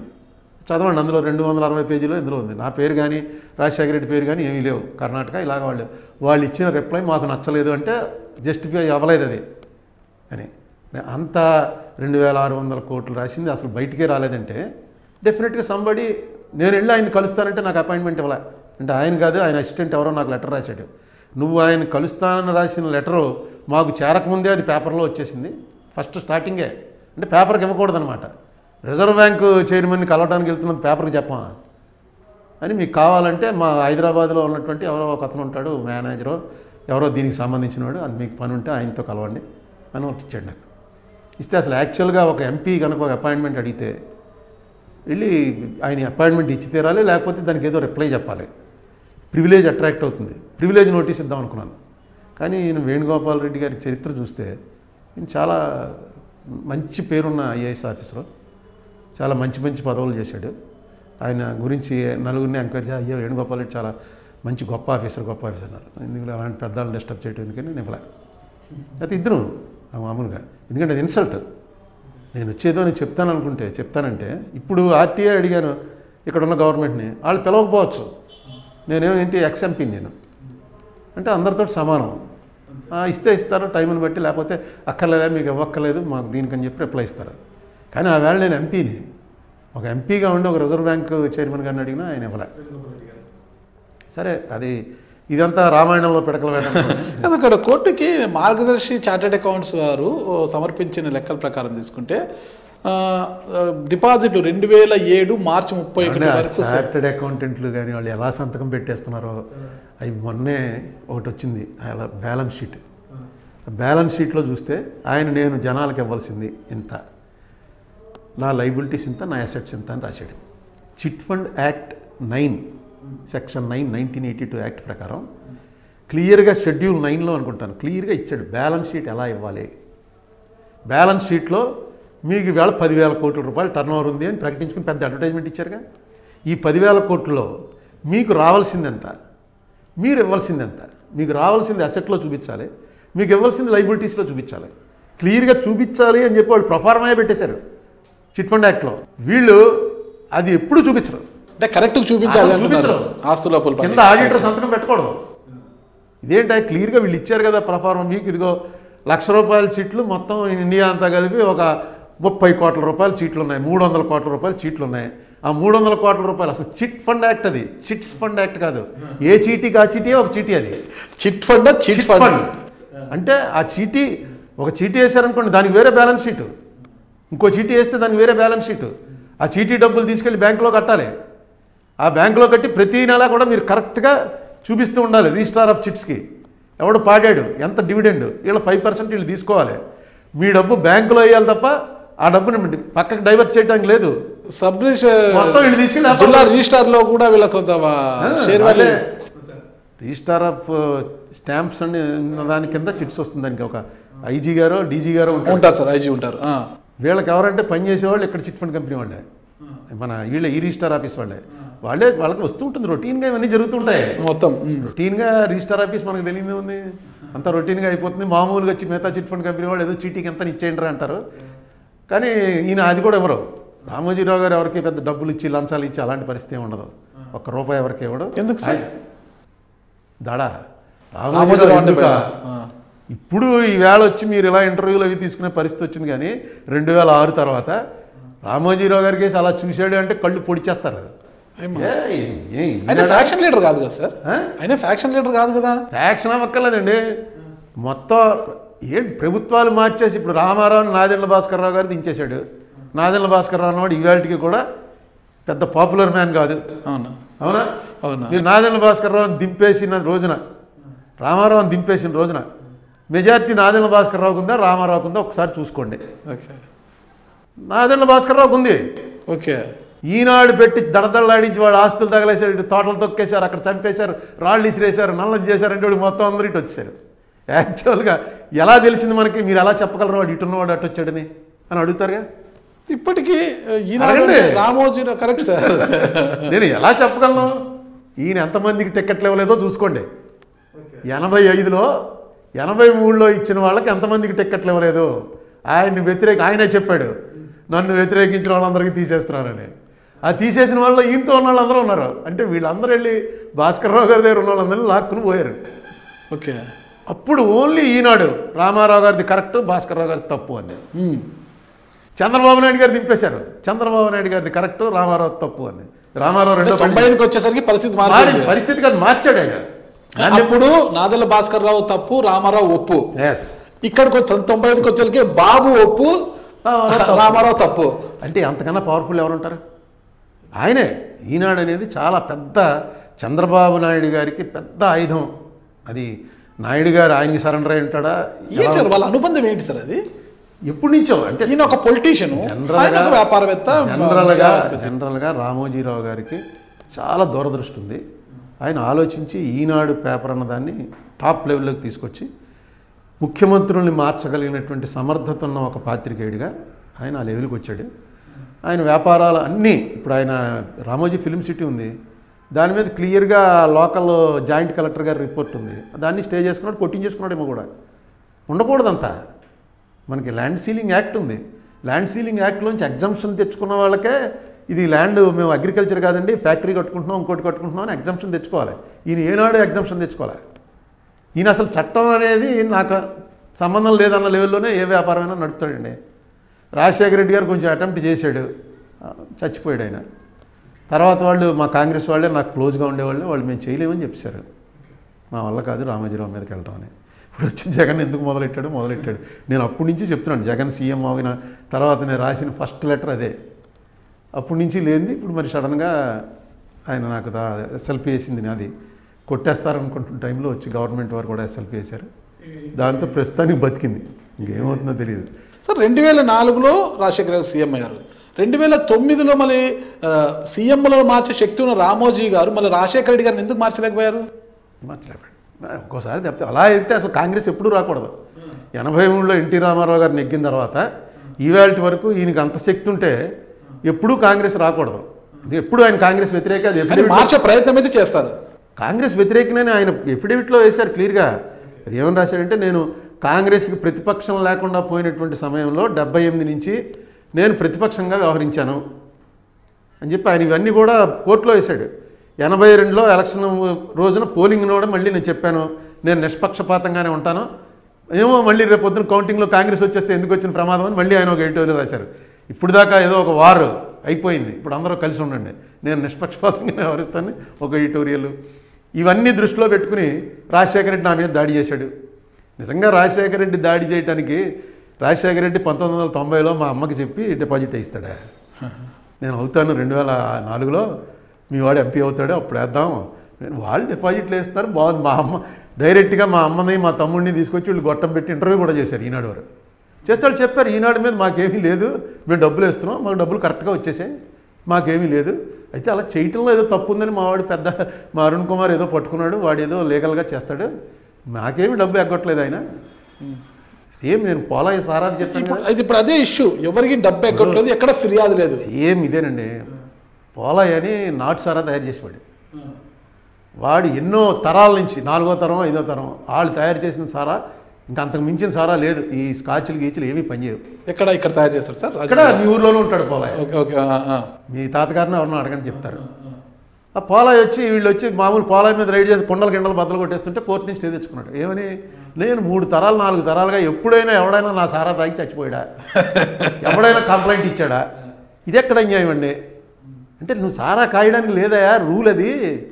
అంటే నా సారా పెట్టు పక్కన పట్టుకొచ్చి ఆ బ్లూ లేబుల్ స్కాచ్ విస్కీ పెట్టు. తీసుకురా ఎవరన్నా నా తాగించు. ఎవరిది బాగుందో చెప్తారు. నాది ఎలా కొడతా అంటే అదే ఇది రూల్ పెట్టామయ్యా బాబు. నువ్వు పర్మిషన్ తెచ్చుకో పర్మిషన్ తెచ్చుకుని కాచుకో. ఇలా కాయకూడదు కాస్తే రెండేళ్ళు జైలు. అని ఇంకా మాట్లాడితే నాలుగు కొట్టి తీసుకెళ్ళి జైల్లో పారేస్తారు. వాడు చెప్పింది హండ్రెడ్ పర్సెంట్ కరెక్ట్. అక్కడ సారా ఇక్కడ చిట్ ఫండ్ కంపెనీ. అదే రామోజీరావు గారు చెప్తున్నాడు. నేను ఇన్నేళ్ళ నుంచి చేస్తున్నవాడిని నన్ను అడగడానికి లేదు మీరు ఎవరో కరెక్ట్ సార్ కరెక్ట్. రూల్ పెట్టాం కదా రూల్ ప్రకారం నేను చేయను. ఆ రూల్ నాకు వర్తించదు. ఎందుకంటే ఆ రూల్స్ గీల్స్ అవన్నీ కూడా డబ్బులు ఎగ్గొట్టే వాళ్ళ కోసం. నేను అందరికీ డబ్బులు ఇచ్చేస్తుంటే నేను రూల్ ఎగ్గొట్టడం ఏంటి? నాకు రూల్ ఏంటి? వాళ్ళకి నాకు కుదిరింది. ఎవడన్నా కంప్లైంట్ ఏమన్నా? ఇప్పుడు మీరు అంటున్నారు సార్ ఇంత ఫైట్ చేస్తున్నారు ఓకే. ఇప్పుడు ఈరోజు ప్రభుత్వం ఏపీ ప్రభుత్వం ఇంప్లీడ్ అయింది కదా. మన భారతదేశంలో ఒకసారి తీసే వైట్ కాలర్ నేరగాలు చాలా మంది ఉన్నారు. ఎవ్వరికి కూడా ఎక్కడ శిక్షలు పడలేదు ఇంతవరకు కూడా వైట్ కాలర్ నేరగాలు మీరు చెబుతున్న మేరకు ఈ రామోజీరావు గారు చేస్తున్న బిజినెస్ కూడా వైట్ కాలర్ నేరం కిందకి వస్తుంది. ఇంతమంది వైట్ కాలర్ నేరగాలని యథేచ్ఛగా వదిలిపెట్టిన మన ప్రభుత్వాలు మళ్ళీ రామోజీరావు గారు లాంటి వారిని శిక్షిస్తుందా? ఏమంటే మీకు శిక్షిస్తుందా లేదా అనేది కోర్టులకు సంబంధించి దాంట్లో నేను కామెంట్ చేయను. ప్రభుత్వం వ్యవహరించవలసినటువంటి తీరు ఏంటంటే ఎవడన్నా సరే ఒకలాగే చూస్తుంది ప్రభుత్వం అనేటువంటి ఒక భ్రమన్నా కల్పించాలి. నమ్మకం కల్పించలేకపోయినా ఒక భ్రమన్నా కల్పించాలి. నన్ను ఎప్పుడు ఎక్కువ రామోజీరావు గారి అభిమానులు ఎక్కువ తెలుగుదేశంలో ఉంటారు. వాళ్ళంతా దగ్గర బంధువులు గిందువులు వాళ్ళందరూ సోషల్ మీడియాలో ఆ రోజుల్లోనే నా మీద విపరీతంగా చేసిన విమర్శ ఏంటంటే నీకు జగన్మోహన్ రెడ్డి అవినీతి కనిపించదా? అగ్రిగోల్డ్ వాడు అవినీతి కనిపించదా? మీ మొన్ననే కాకినాడలో ఈ మధ్య పెట్టేస్తున్నారు ధనలక్ష్మి. అదేం చేయదా? అది కనిపించదా? రామోజీరావే కనిపిస్తాడా? అని చెప్పి పెద్ద గొడవ చేస్తుంటారు. జగన్మోహన్ రెడ్డి పదహారు నెలలు జైల్లో ఉన్నాడు అగ్రిగోల్డ్ వాడు ఇప్పటికి కూడా జైల్లోనే ఉన్నాడేమో. ధనలక్ష్మి వాళ్ళని మొత్తం అందరినీ అరెస్ట్ చేసి జైల్లో పెట్టారు. ఇంక నేనేం మాట్లాడాలయ్యా తీసుకెళ్ళాలని యాక్షన్ తీసుకుని జైల్లో పెట్టేస్తే రామోజీరావు గారి మీద ఎవడో యాక్షన్ తీసుకోవట్లేదు కాబట్టి నేను మాట్లాడుతున్నాను. రామోజీరావు గారు చేసిన తప్పు చేస్తున్నాడయా అని. యాక్షన్ తీసుకునేటువంటి దమ్ములు ఉన్నవాడు ఎవడో లేడు. అందుకే రాజశేఖర రెడ్డి అయిపోయిన తర్వాత నేను కూరుకున్నాను. ఇదేం జరిగే పని కాదని. నెక్స్ట్ రామోజీరావు గారు నా మీద వేశాడు. ఆయన వేశాడని నేను అంటున్నాను. కాదు ఆయనకి మాకు సంబంధం లేదని మార్గదర్శి చిట్ ఫండ్స్ వారు నా మీద యాభై లక్షలకి దావా చేశారు. ఆ దావాలో ఏం చెప్పారు? ఎవడా Ramoji Rao? One mister Ramoji Rao is indulged and financial irregularities and you attack Margadarsi chit funds. Ramoji Rao has nothing to do with our company. Ramoji Rao HUF has nothing to do with our company అని యాభై లక్షలకి పరువు నష్టం చేశారు నాకు. నడుస్తుంది అది ఇంకా. ఇంకా కేసు నడుస్తుంది సార్? కేసు నడుస్తుంది. ఓకే. ఇప్పుడు నేను ఏం చేయాలి? రామోజీరావు గారేమో తీసుకెళ్ళి సుప్రీంకోర్టులో హైకోర్టులో అఫిడవిట్ వేశారు అయ్యా నేను రాజశేఖర రెడ్డి నా మీద దాడి చేసి చేస్తున్నాడు కానీ నాకు ఇదిగో ఇన్ని వ్యాపారాలు ఉన్నాయి. అన్ని వ్యాపారాలు రాశాడు. ఈనాడు ఈటీవీ ఉషోదయ ఉషాకిరణ్ మార్గదర్శి చిట్ ఫండ్స్. అన్నీ రాసి వీటిల్లో తొంభై తొమ్మిది శాతం వాటాలు నావి. మా కుటుంబానివి. మా హెచ్యుఎఫ్కి సంబంధించినవి. అంచేత నేను పే బ్యాక్ చేయగలను. నన్ను తీసుకునే ఇబ్బందులు పెట్టద్దు అని కోర్టులో వేసి స్టే తెచ్చుకున్నాడు. మార్గదర్శి చిట్ ఫండ్స్ వాళ్ళు ఇక్కడ నా మీద వేసేమంటారు హెచ్యుఎఫ్కి దీనికి ఏమి సంబంధం లేదు. ఆడేవాడు. వన్ మిస్టర్ అంటే దాని అర్థం ఏంటి? డిక్షనరీలో చూడండి. వన్ మిస్టర్ అంటే అన్నోన్ ఎవడో తెలియనివాడు అనమాట ఎవడో రామోజీరావు అనేవాడు ఏదో తప్పు చేశాడని నువ్వు వచ్చి మార్గదర్శి చిట్స్ అంటావా? ఇదే రాసింది వాడు. ఇప్పుడు నాకు ఇప్పుడు పెర్జురీ అట్రాక్ట్ అవుతుంది ఇది. పెర్జురీ అంటే ఆన్ ఓత్ ఎవడన్నా తప్పు చేస్తే ఏడేళ్ళు జైలు. ఆన్ ఓత్ అంటే affidavit is on oath Ramoji Rao garu వేసిన ఎఫిడేవిట్ ఆన్ ఓత్ ఇవి నాదే హెచ్ఎఫ్దే అని. చిట్ ఫండ్ కంపెనీ వాళ్ళు వేసిన ఎఫిడేవిట్ ఆన్ ఓత్ రామోజీరావుకి ఏం సంబంధం లేదని. అంటే ఇద్దరిలో ఎవడో ఒకడు అబద్ధం ఆడాడు. ఏడేళ్ళు జైలు శిక్షగా అంత పెద్ద కేసు అది. మన మామూలుగా నేను కోర్టులో వేస్తుంటే అరుణ్ కుమార్కి అరుణ్ కుమార్ అని కొడతారు. నాది అరుణ కుమార్. నేను రే మార్చరా ఏ చేర్చాలంటే ఇవన్నీ ఎవడు పట్టించుకుంటాడు? నీ గొడవ టైప్ అయిపోయింది వెళ్ళిపోతుంది. అరుణ కుమార్. అరుణ్ కుమార్ అని బెటరా? అరుణ్ కుమార్ కాదు నేనంటే ఈ నీ ఏంటి గురు? నువ్వు కూడా లా చదివి నువ్వేం వాడతావు? దీని చిన్నదానికి మళ్ళీ మార్చమంటావా? అని. మనకేంటంటే కోర్టు అంటే ఆ రెస్పెక్ట్ చిన్న తేడా కూడా ఉండకూడదు. ఎందుకు? మళ్ళీ చేర్చండి ఖచ్చితంగా చేర్చండి అని చెప్తుంటాను. వీళ్ళు అలా కాదు. ఎక్కడో ఎఫిడేవిట్ అక్కడో ఎఫిడేవిట్ వేసి పారేశారు. టోటల్ కాంట్రడిక్టింగ్ కానీ మన లా ఎంత పకడబందీగా ఉందంటే ఈ పెర్జురీ కేసు ఎవడ మీద పెడతావు నువ్వు అని అడిగాడు. రామోజీరావు మీద పెట్టాలంటే ఏమో రామోజీరావు కరెక్ట్ ఏమో చిట్ ఫండ్ వాడే తప్పేమో. చిట్ ఫండ్ వాడి మీద పెడదామంటే రామోజీరావు చిట్ ఫండ్ వాడే కరెక్ట్ ఏమో. ఈ రెండు కేసుల్లో ఏదో కేసు తేలాలట తేలి వాడు చెప్పింది తప్పని తేలాలట అప్పుడు మనం రెండో వాడి మీద పెర్జరీ వేయచ్చు అసలు ఈ చిట్ ఫండ్ మార్గదర్శి చిట్ ఫండ్కి మార్గదర్శి ఫైనాన్స్ కంపెనీకి ఉన్న తేడా ఏంటి సార్ ఒక్కసారి? ఆ తేడా తెలియకే అందరూ కూడా డిపాజిట్లు వేస్తున్నాడు ఇప్పుడున్న తరం కూడా తెలియడం లేదు సార్. అన్నీ కూడా ఓన్లీ రామోజీరావు అనేటువంటి ఒక మనిషి ఆయన సొంతంగా సంపాదించుకున్నటువంటి పలుకుబడి. ఆయన ఈనాడు పేపర్ పొద్దున చూసామంటే మనం మొత్తం అసలు దేశం ఎలా నడవాలి ప్రపంచం ఎలా నడవాలి ఎవరెవరు ఎలా నడుచుకోవాలి అందరి అందరికీ అన్ని హితభక్తలు చెప్తూ ఉంటాడు ఆయన. ఈనాడు హయ్యెస్ట్ సర్క్యులేషన్ ఇప్పుడేవో రెండు మూడు పేపర్ల దగ్గరికి వస్తున్నాయి కానీ దగ్గరికి కూడా రావట్లా అంత హయ్యెస్ట్ సర్క్యులేషన్లోకి ఆయన తీసుకొచ్చాడు. ఆ పేపర్ను చూసి రామోజీరావు గారు అంటే అందరికీ ఒక రకమైనటువంటి ఈయన ఫైనాన్షియల్ డెఫినెట్గా ఆ డిసిప్లిన్ ఉన్నటువంటి మనిషి. అయ్యా ఎంత పెద్ద ఇంత పదిహేను వేల కోట్ల రూపాయలు సంపాదించేటువంటి పరిస్థితి ఉందంటే డెఫినెట్గా ఇతను మనం రూపాయి పెడితే మనకి ఏమి నష్టం ఉండదు అని నమ్మకం ఉంది. తప్పులేదు ఆయన బిల్డప్ చేసుకున్నాడు అది. ఆ బిల్డప్ చేసుకున్న దాంట్లో ఇలాంటి తప్పులు ఏమైనా జరిగినప్పుడు ప్రభుత్వాలు ఎందుకు వెళ్ళమంటే ఈనాడు భయం ఈటీవీ భయం ఏం చూపిస్తారు అని. సో ఆ భయంతో వెళ్ళట్లేదు. మీరు అరుణ కుమార్ గారు కరెక్ట్గా ఉన్నారు కాబట్టి రామోజీరావు గారితో తలపడుతున్నారు. మరి ప్రభుత్వాలు కూడా కరెక్ట్గా ఉంటే రామోజీరావు భయపడాల్సిన అవసరం ఏముంటుంది? ఏమండి ఇప్పుడు ఏ ప్రభుత్వం అయినా ఏమని నేనేం కరెక్ట్గా ఉన్నాను నేనేం చెప్పగలను మీరు ఎలా ఉన్నారో నేను అలాగే ఉన్నాను. నేనేం అసాధారణమైనటువంటి వ్యక్తిని కాదు నేనే మహాత్మా గాంధీనో లేకపోతే ఇంకోనో కాదు. ఒక నేను మామూలు పొలిటీషియన్ని అందరు పొలిటీషియన్లు చేసే తప్పులు నేను చేశాను. అందరూ ఎలా నడుస్తారో నేను అలాగే నడుస్తాను. అయితే ఒకటేంటంటే నన్ను ఏం సంపాదించుకోలేదు. సంపాదించుకోలేకపోవడానికి కారణం ఏంటంటే నాకు ఆసక్తి లేదు. ఇప్పుడు కూడా నేను ఖచ్చితంగా చెప్పగలను ninety percent of the politicians నాలాగే ఉంటారు. మీరు ఎంతసేపు పవర్లోకి వచ్చి ఎవడో తినేసి సంపాదించుకున్నాడు అన్నవాడిని బొత్తద్దం పెట్టి చూస్తుంటారు కానీ నాశనం అయిపోయిన వాళ్ళు ఎన్ని లక్షల మంది ఉన్నారండి? ఏనాడు ఒక కార్పొరేటర్ అవ్వలేకపోయాడు ఒక వార్డు మెంబర్ అవ్వలేకపోయాడు ఎమ్మెల్యే టికెట్ రాలేదు ఏమీ రాలేదు ముప్పై ఏళ్ళు నలభై ఏళ్ళ నుంచి రాజకీయాల్లోనే తిరుగుతున్నవాళ్ళు ఉన్న ఆస్తులు తగలేసుకున్న వాళ్ళు ఏ పని చేయకుండా ఉన్నవాళ్ళు నాకు తెలుసు మా రాజమండ్రిలోనే బోల్డ్ మంది ఉన్నారు. నాకన్నా బాగా మాట్లాడగలిగిన వాళ్ళు నాకన్నా తెలివైన వాళ్ళు నాకన్నా చదువుకున్న వాళ్ళు ఈ రాజకీయం అనే కోపంలోకి వచ్చి దెబ్బ అయిపోయిన వాళ్ళు. నాకేదో కలిసి వచ్చింది టికెట్ వచ్చింది ఎంపీ అయ్యాను అయిపోయింది అంతే ఇది ఒక ఫేజ్. కానీ పొలిటీషియన్స్ అందరూ కరప్ట్ అనే ముద్ర ఏదైతే వేశారో ఆ ముద్ర కరెక్ట్ కాదు. మీ ఊర్లోనే చూసుకోండి. అనేక మంది ఉంటారు. మీకు ఎంతసేపు ఊళ్ళో ఎమ్మెల్యే ఎవడయ్యాడు ఎంపీ ఎవడయ్యాడు మంత్రి ఎవడయ్యాడు ఆడు సంపాదించుకున్నాడు. ఇదే లెక్క తప్ప వాళ్ళ వెనకాల ఉన్న వాళ్ళే పొలిటీషియన్స్ వాళ్ళు ఒకసారి అడ్మినిస్ట్రేషన్లోకి వచ్చేసారు. సో నేనేమి గొప్పవాడిని అని చెప్పి ఆయన నన్ను కాదు నన్ను నన్ను ఏ రకంగా తొక్కాలో ఆ రకంగా తొక్కడానికి అనేక ప్రయత్నాలు చేశారు. ఎలక్షన్. ఎలక్షన్ మొన్న నేను తొమ్మిదిలో ఓడిపోయాను అనుకోండి ఏముంది రామోజీరావుతో వెళ్ళాడండి ఎందుకండి వీడికి? చెప్పాం అందరూ చెప్పేవారు నాకు. మా కాంగ్రెస్లో మెజార్టీ రామోజీరావుకి సపోర్టు. రాజశేఖర రెడ్డి టైంలో. మరి ఇంకేం చెప్తారు? రాజశేఖర రెడ్డి ఉండి అక్కడ ఏం చెప్తాడు? కాంగ్రెస్లో ఏంటి? మన ఆంధ్రప్రదేశ్ కాంగ్రెస్లో. ఇక అక్కడ నేషనల్ లెవెల్లో అయితే మొత్తం అందరూ కూడా ఎందుకు అతనితో? సోమనాథ్ చటర్జీ గారి సపోర్టు అద్వానీ గారి సపోర్టు వాళ్ళిద్దరికి అస్సలు పడదాం. ఇలా ఉంటారు. ఇలా ఉంటారు ఇప్పుడు. ఈ విషయంలో మాత్రం ఇలా కలిసిపోతారు. ఒక్క ప్రశ్న సార్ ఈ విషయంలో. రామోజీరావు గారు నేరుగా ఎవరిని వెళ్ళి కలవరైనా. ప్రధానులైన ముఖ్యమంత్రులైనా ఆయన దగ్గరికే వెళ్ళి కలుస్తారు. మరి అలాంటి వ్యక్తిని ఒక ఉండవల్లి అరుణ్ కుమార్ గారు కావచ్చు ఏపీ ప్రభుత్వం ఏం చేస్తుందంటారు అసలు? ప్రధానమంత్రిని వెళ్ళి రాజశేఖర్ మన రామోజీరావు గారు కలిసాడండి అవి రావు బయటికి. వస్తే ఇంత మొక్క వస్తుంది అక్కడ. అది మేనేజ్మెంట్ ఓకే. ఎందుకంటే ఆ కలిసిన రోజున నేను ఢిల్లీలో ఉన్నాను. మోడీ గారిని కలిసిన రోజు ఆ, అందుకని అరే ఈయన వచ్చాడే కలవటానికి అనుకున్నాను. మొన్నటి చూస్తే ఎక్కడ ఏ పేపర్లో ఉండదు. ఏమో మూల ఎక్కడైనా రాస్తారేమో కానీ ఎప్పుడైతే అక్కడ మోడీ గారు పార్లమెంట్ జరుగుతుండగా పరిగెత్తుకెళ్ళి రామోజీరావు గారిని కలిశాడో అమిత్ షా అయినా ఎవడైనా ఇక్కడ వెళ్ళి కలవాలంతే. అంతే కదా. మీ మీ ఐ డ్రీమ్స్ ప్రొపరేటర్ గారు ఉన్నాడు. ఆయన బయలుదేరి అమెరికా నుంచి అరుణ్ కుమార్ని కలవటానికి వెళ్ళేట్టనగానే మీ అందరి యాటిట్యూడ్ మారుతుంది. మన అంతే కదా. మోడీ గారు అందరినీ కలుస్తాడు ఈయన కలిసింది అలా సీక్రెట్గా ఉంటుంది. రామోజీరావు గారు మోడీ గారిని కలిశారా సార్? పార్లమెంట్ హౌస్లో. కలిశారు. ఇది ఎక్కడ? మీకు డేట్ గిట్టు చెప్తాను కావాలంటే. Okay sir. కాదు అదే ఇప్పుడు ఎందుకు?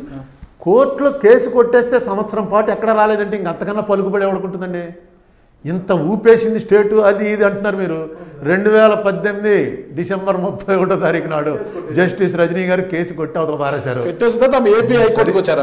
సరిగ్గా ఏపీ హైకోర్టుకి వెళ్ళిపోతున్న రోజున కొట్టేసి వెళ్ళిపోయారు. సంవత్సరం తర్వాత నాకు ఇలాంటి కేసులో వాడే ఒక ఆయన ఢిల్లీలో కలిస్తే యాదృచ్ఛికంగా అడిగాను. ఏమండి మీకు ఇంకా అయిందా? ఇంకా మళ్ళీ కృష్ణ కారాగారం జైలు అది ఉంటుందా? అని అడిగాను. లేదండి మీ దాంట్లో తీర్పు వచ్చేసింది కదా. అది దానివల్ల నేను నేను కూడా బయటపడిపోయినట్టు అన్నాడు. నా దాంట్లో తీర్పు రావటం ఏంటన్నాను మీరు రామోజీరావు గారు కేసు కొట్టేశారండి. అందుకని మాది కూడా రామోజీరావు కేసు కొట్టేటువంటి ఎక్కడ ఏ పేపర్లో రాలేదు? అని ఇక్కడ అందరినీ ఎప్పటికీ తెలియదు కోర్టులో వాళ్ళకి కూడా తెలియదు అంత పెద్ద ప్లేడర్ వచ్చిన రోజున అందరికీ తెలుస్తుంది. ఢిల్లీ నుంచి గంటల లెక్కన డబ్బులు తీసుకునే పెద్ద ప్లేడర్ వస్తే ఎక్కడ జరిగిందో ఎప్పుడు జరిగిందో కూడా ఎవరికి తెలియదు అవన్నీ కూడా చకచక జరుగుతాయి రెండు వేల పద్దెనిమిది డిసెంబర్ ముప్పై ఒకటిన కేసు కొట్టివేయడము రెండు వేల పంతొమ్మిదిలో తెలపల రజనీ గారు ఏపీ హైకోర్టు ఆ రోజున జస్టిస్ వెళ్ళిపోతూ- గారు రావడము రెండు వేల ఇరవైలో పదవి విరమణ రెండు వేల ఇరవై ఒకటిలో నేషనల్ లా ట్రిబ్యునల్ మెంబర్గా ఆమె బాధ్యతలు స్వీకరణ. ఇవన్నీ చకచకా జరిగిపోయాయి. జరిగిపోతుంది. ఇప్పుడు వాటన్నిటినీ నేనేం పెద్ద ఇది చేయను కానీ పేపర్లో రాకుండా ఎలా ఆపారండి ఇంత కాంపిటీషన్ నడుస్తుంటే ఇన్ని పేపర్లు ఉంటే రామోజీరావు గారు ఎక్విటల్ వచ్చేసింది అన్నది ఈనాడులో ముందు అడ్లైన్స్ రావాలి. ఆయనకి తెలుసు ఈ జడ్జిమెంట్ ఎలాంటిదో. అందుకే ఈనాడులో అసలు రాలే. పోనీ మీ పేపర్లు ఉన్నాయి? మిగతా పేపర్లు ఉన్నాయి? ఇన్ని ఛానల్స్ ఉన్నాయి? ఇన్ని యూట్యూబ్ ఛానల్స్ ఉన్నాయి? ఎవరికీ తెలీదు. అవును సార్ వాస్తవం. తెలిస్తే అంటే చెప్తారు రామోజీరావు కేసు కొట్టేసేటని సంవత్సరం అయిపోయింది. అప్పుడు ఊరికే నేను ఈయన్ని అడిగాను కేసీఆర్ గారిని అడిగాను జగన్మోహన్ రెడ్డి గారిని అడిగాను బాబు మీరు ప్రాసిక్యూట్ చేయవలసిన వాళ్ళు మీరు వెయ్యండి అని. ఎవరు సమాధానం చెప్పలే. చివరికి నేను ఊరికే అదృష్టం పరిశీలించుకుందాం వేద్దాం ఒక ఎస్ఎల్పి అని. అక్కడికి వెళ్ళి ఆ ఎస్ఎల్పి ఫైల్ చేసాం ఫైల్ చేసేటప్పుడే మా అడ్వకేట్ రమేష్ గారు చెప్పాడు ఫైల్ చేస్తున్నాం కానివ్వండి హూ ఆర్ యూ అని అడిగాడా పోయినట్టే. ఎందుకంటే prosecuting authority is the government నువ్వెవడ మధ్యలో వచ్చి? అన్నాడంటే కేసు పోయినట్టేనండి. అన్నాడు మా సత్యనారాయణ ప్రసాద్ గారు అని చెప్పి ఆయన ఢిల్లీ వచ్చి ఆయనే ఆర్గ్యూ చేశాడు. ఆర్గ్యూ చేస్తున్నప్పుడు ఆయన కూడా అన్నాడు చూద్దాం ఛాన్స్ చూద్దాం అని. ముందు జడ్జి గారు ఇలా చూడగానే అలా పారేసి హూ ఆర్ యూ అన్నాడు. అమ్మ అనగానే పోయిందిరా అనుకున్నా. పక్కన ఇంకో జడ్జి ఉన్నాడు ఇద్దరు ఉంటారు ఆయన ఇలా ఫైల్ అడ్డం పెట్టి ఆయన చదువుకుని వచ్చినాడు. ఈయన సీనియర్స్ కదా ఆయనకు తెలిసిపోతుంది. ఆఖరి ఆఖరి పేజ్ చదివితే తెలిసిపోతుంది. ఆయన కేసు మొత్తం చదివినట్టున్నాడు. ఆయన ఇలా పెట్టి ఏదో మాట్లాడాడు. మాట్లాడిన తర్వాత నోటీస్ అన్నాడు. నాకు వినపడలేదు అది. డిస్మిస్ అన్నట్టు వినిపించింది నాకు. అనవసరంగా ఎంత దూరం వచ్చారో బాబు. అనగానే ఆ ప్రసాద్ గారు సెకండ్ ఇచ్చి సెకండ్ ఇస్తున్నందుకు పోయినందుక. బయటకు వచ్చాక చెప్పాడు ఆయన. తక్కువనే నోటీస్ అంటే కేసు బతికింది. నోటీసులు ఇవ్వండి వాళ్ళందరికీ ఏపీ గవర్నమెంట్ని ఇంప్లీడ్గా ఉన్నారు. ఏపీ అంటే గవర్నమెంట్, తెలంగాణ మళ్ళా వాయిదాకి వచ్చేటప్పటికి రిజర్వ్ బ్యాంక్ని కూడా చేర్చండి అని ఆయనే చెప్పాడు. రిజర్వ్ బ్యాంక్ని చేర్చండి. ఇందులో రిజర్వ్ బ్యాంక్ లేకుండా ఎలాగా? వాళ్ళని కూడా చేర్చండి అని. ఇదంతా ఇప్పుడు మీకు బలం అసలు వేడి నీళ్ళకి చల్లనీళ్ళు తోడైనట్టుగా మొన్న. మళ్ళీ మొన్న మళ్ళీ కొట్టేద్దరు. మొన్న ఏమైందంటే రమణ గారు సీజేగా ఉండగా రామోజీరావు గారి ప్లేడరే లేచి అడిగాడు మా కేసు ఎర్లీ చేయండి అని. ఇప్పుడు అడగరు అలాగా. ఎందుకంటే మీ కేసు కొట్టేసింది కింద. నేను వేసాను పిటిషను. నేను అడగాలి సార్ మా కేసు ఏమండి? తొందరగా తేల్చండి అని. వాళ్ళే అడిగారు మా కేసు తొందరగా తేల్చండి అని. అనగానే అనుకున్నాను. ఇది ఎక్కడ గొడవరా? అయిపోయింది కేసు. అంటే వాళ్ళకి తెలుసు అనమాట ఇప్పుడైతే కొట్టించేసుకోవచ్చు అని రమణ గారు డేట్ ఇచ్చేశారు. అంటే రమణ గారు ఉన్నప్పుడు కొట్టించేసుకోవచ్చు అట్లా? రమణ గారి దగ్గరికి రాదు. రమణ గారు సీజే కదా. డేట్ ఇవ్వడం మాత్రం ఆయన ఇవ్వాలి. ఆయన డేట్ ఇచ్చారు. డేట్ ఇచ్చేటట్టుకి ఇంకా డేట్ నాటికి మంది లోకల్ స్టాండీ కొట్టేయడానికి అవకాశాలు ఉన్నాయి. అది ఆయనకి ఉపకారం చేద్దామని మనకు ద్రోహం చేద్దామని కాదు. మామూలుగా సుప్రీంకోర్టులో కొన్ని వేల వేల కేసులు ఉండి తలకాయ నొప్పి అయిపోయి ఉంటుంది వాళ్ళకి. ఎందుకు అందులో ఎవరన్నా చెప్పారనుకోండి కాస్త పెద్దాడు. అంటే ఆ కేసు ఏమీ లేదా ఎవడ? అదే పని. వాళ్ళ వాళ్ళ ఇది కూడా అంతే. వాళ్ళు పెట్టిన ప్లీ కూడా ఏంటంటే రామోజీరావు గారి ప్లేటర్లో ఇతనికి ఇంకేం పని లేదు. ఈ అరుణ్ కుమార్ అనేవాడు వచ్చి రామోజీరావు గొడవ తప్ప వీడేదో పెద్ద నేను దేశంలోనూ అవి పట్టుకున్నాను ఈ పట్టుకున్నాను ఏమి పట్టుకోడు. వీడు ఇదే పట్టుకున్నాడు. వీడు ఖాళీగా ఉండి ఏ పని లేక వేస్తున్నాడు. ఇదే వాళ్ళ ఆర్గ్యుమెంట్ వాళ్ళు కూడా ఏంది ఏంటి కేసు ఇచ్చాను నోటీస్ ఏమైంది డిస్మిస్ అన్నాడు అనుకోండి. పోయింది అనుకున్నా పోయింది అనుకునే అప్పుడు మళ్ళీ మళ్ళీ ఊపిరి ఎలా వచ్చింది మీకు? ఈ జగన్మోహన్ రెడ్డి వచ్చి అతనే ఎస్ఎల్పి వేశాడు. ఓకే. ఆ- ఆ వేళ ఎస్ఎల్పి అయిపోతే నా లెక్క ప్రకారం నా కేసు డిస్మిస్ అయిపోతుందని అనుకున్నాను అనుకున్నాను ప్రెస్ మీట్ పెట్టి చెప్పేశాను. అయిపోయింది అబ్బా వెళ్తున్నాను ఢిల్లీ. ఇక వెళ్ళవలసిన పని కూడా ఉండదు కొట్టేస్తారు. ఎందుకంటే లేకపోతే వాళ్ళే ఎందుకు అడుగుతారు? వాళ్ళ కేసు బతికించండి అని వాళ్ళు అడుగుతారా? చంపేస్తారని తెలుసు కాబట్టి ఆ కేసు విషయం తేల్చండి అని వాళ్ళు అడిగారు. ఇప్పుడు కేసు అయితే గోయింగ్ ఆన్ ఇప్పుడు ఉంది రేపు రెండో తారీఖు వాయిదా ఏపీ ప్రభుత్వం ఇంప్లీడ్ అయింది ఇప్పుడు దాడులు జరుగుతున్నాయి అన్ని ఆధారాలన్నీ సబ్మిట్ ఇది చేస్తారు దానికి సంబంధించి కదా అక్కడే అందరికీ కన్ఫ్యూజన్ సార్. అక్కడ వేసిన కేసు మార్గదర్శి ఫైనాన్షియర్స్ వాళ్ళకి హెచ్యుఎఫ్లు చాలా చిన్న కేసు అనమాట మామూలుగా మీరు నేను కూర్చుని టూ మినిట్స్లో తేల్చొచ్చు అది. ఏమీ లేదు. ఎవ్వరూ కూడా వసూలు చేయడానికి వీలు లేదు అని రిజర్వ్ బ్యాంక్ వారి యాక్ట్ అండి. ఈయన ఏమన్నాడంటే ఆ యాక్ట్ హిందూ అన్డివైడెడ్ ఫ్యామిలీకి వర్తించదు. మేము చేసుకోవచ్చు. అందుకే మేము చేసుకుంటున్నాం అన్నాడు. రిజర్వ్ బ్యాంక్ వాళ్ళు వెంటనే ఏం రాశారంటే హెచ్యుఎఫ్కి వర్తిస్తుంది. మేము చేసిన యాక్టు. అందుకని నువ్వు చేయడానికి వీలు లేదు అన్నారు. అంటే ఓకే నేను మానేస్తున్నాను అని మళ్ళీ ఓ లెటర్ రాశాడు. కానీ చేస్తూనే ఉన్నాడు. ఇది కేసు. ఇప్పుడు మనం ఏం అడగాలి? ఆయన ఏంటి? ఆయన ఆర్గ్యుమెంట్ ఏం చెప్తాడంటే హెచ్యుఎఫ్కి ఎందుకు వర్తించదో ఆయన చెప్తాడు. ఏం కారణాల వల్ల హెచ్యుఎఫ్ గొప్పతనం ఏంటి? తేడా ఏంటి? చెప్పాలి ఆయన. మొన్న ఇక్కడ స్టేట్ హైకోర్టులో ఏం చెప్పాడు ఉమ్మడి రాష్ట్ర హైకోర్టులో? ఇన్కమ్ ట్యాక్స్ లా ప్రకారం HUF is a special entity. అలాగే రిజర్వ్ బ్యాంకు అయినప్పటికీ కూడా మాకు అదే వర్తిస్తుంది అన్నాడు. అలా వర్తించదు. ఎందుకంటే అదే హైదరాబాద్ హైకోర్టు ఆ పక్క కోర్టులో వారం రోజులు పది రోజుల క్రితం ఒక జడ్జిమెంట్ ఇచ్చారు. సరిగ్గా దీని పూర్తి విరుద్ధం. వారం పది రోజుల క్రితం ఒక జడ్జి గారు చేచా ఇది ఒప్పుకోవట్లేదు. స్పెషల్ ఎంటిటీ హెచ్యుఎఫ్ అనేది ఇన్కమ్ ట్యాక్స్ యాక్ట్ కింద వచ్చింది. ఓన్లీ ఇన్కమ్ ట్యాక్స్కే. నువ్వు తీసుకొచ్చి అన్నింటిలో ఇది పెట్టడానికి లేదు అని ఒక జడ్జిమెంట్ ఇచ్చాడు. ఆ జడ్జిమెంట్ ఇక్కడ తెలంగాణ తరఫున ఉన్నటువంటి ప్లేడర్ చెప్పాలి అక్కడ. ఏమంటే మొన్నే మన పక్క కోర్టులోనే ఇది కుదరదు అని చెప్పి జడ్జిమెంట్ వచ్చిందండి అని. ఆయన ఏం మాట్లాడలేదు. అంటే రెండు కోర్టులు పక్క పక్కనే ఉన్న కోర్టులు ఆ కోర్టులో అయితే వేరు ఈ కోర్టులో అయితే వేరు. అలా వచ్చాయి. సరే మొత్తానికి ఇవన్నీ కూడా అక్కడ చెప్తారు సుప్రీంకోర్టులో హెచ్యుఎఫ్కు వర్తిస్తుందా లేదా అన్నది ఎన్నేళ్ళైంది? ఆరు ఆరు పదహారేళ్ళ నుంచి తేల్చలేదండి ఇది. పదహారేళ్ళ నుంచి. రెండు వేల ఆరు నుంచి. రేపు చెప్పారనుకోండి యాస్ హెచ్యుఎఫ్ ఈజ్ ఎగ్జామ్టెడ్ అంటే అయిపోయింది. సార్ రెండు వేల ఆరులో మీరు హైకోర్టు తలుపు తట్టారా సార్ దీని గురించి? నేను అసలు ఎవరు తలుపు తట్టలేదు నేను ఫస్ట్ మళ్ళీ హైకోర్టుకి ఎలా వెళ్ళింది కేసు ఇది? ఆయన వెళ్ళాడు. అన్ని కేసులు ఆయన వేసినవే. ఎవరు? రామోజీరావు గారు. ఓకే. రంగాచారి కమిషన్ అంటే కమిషన్ మీద స్టే.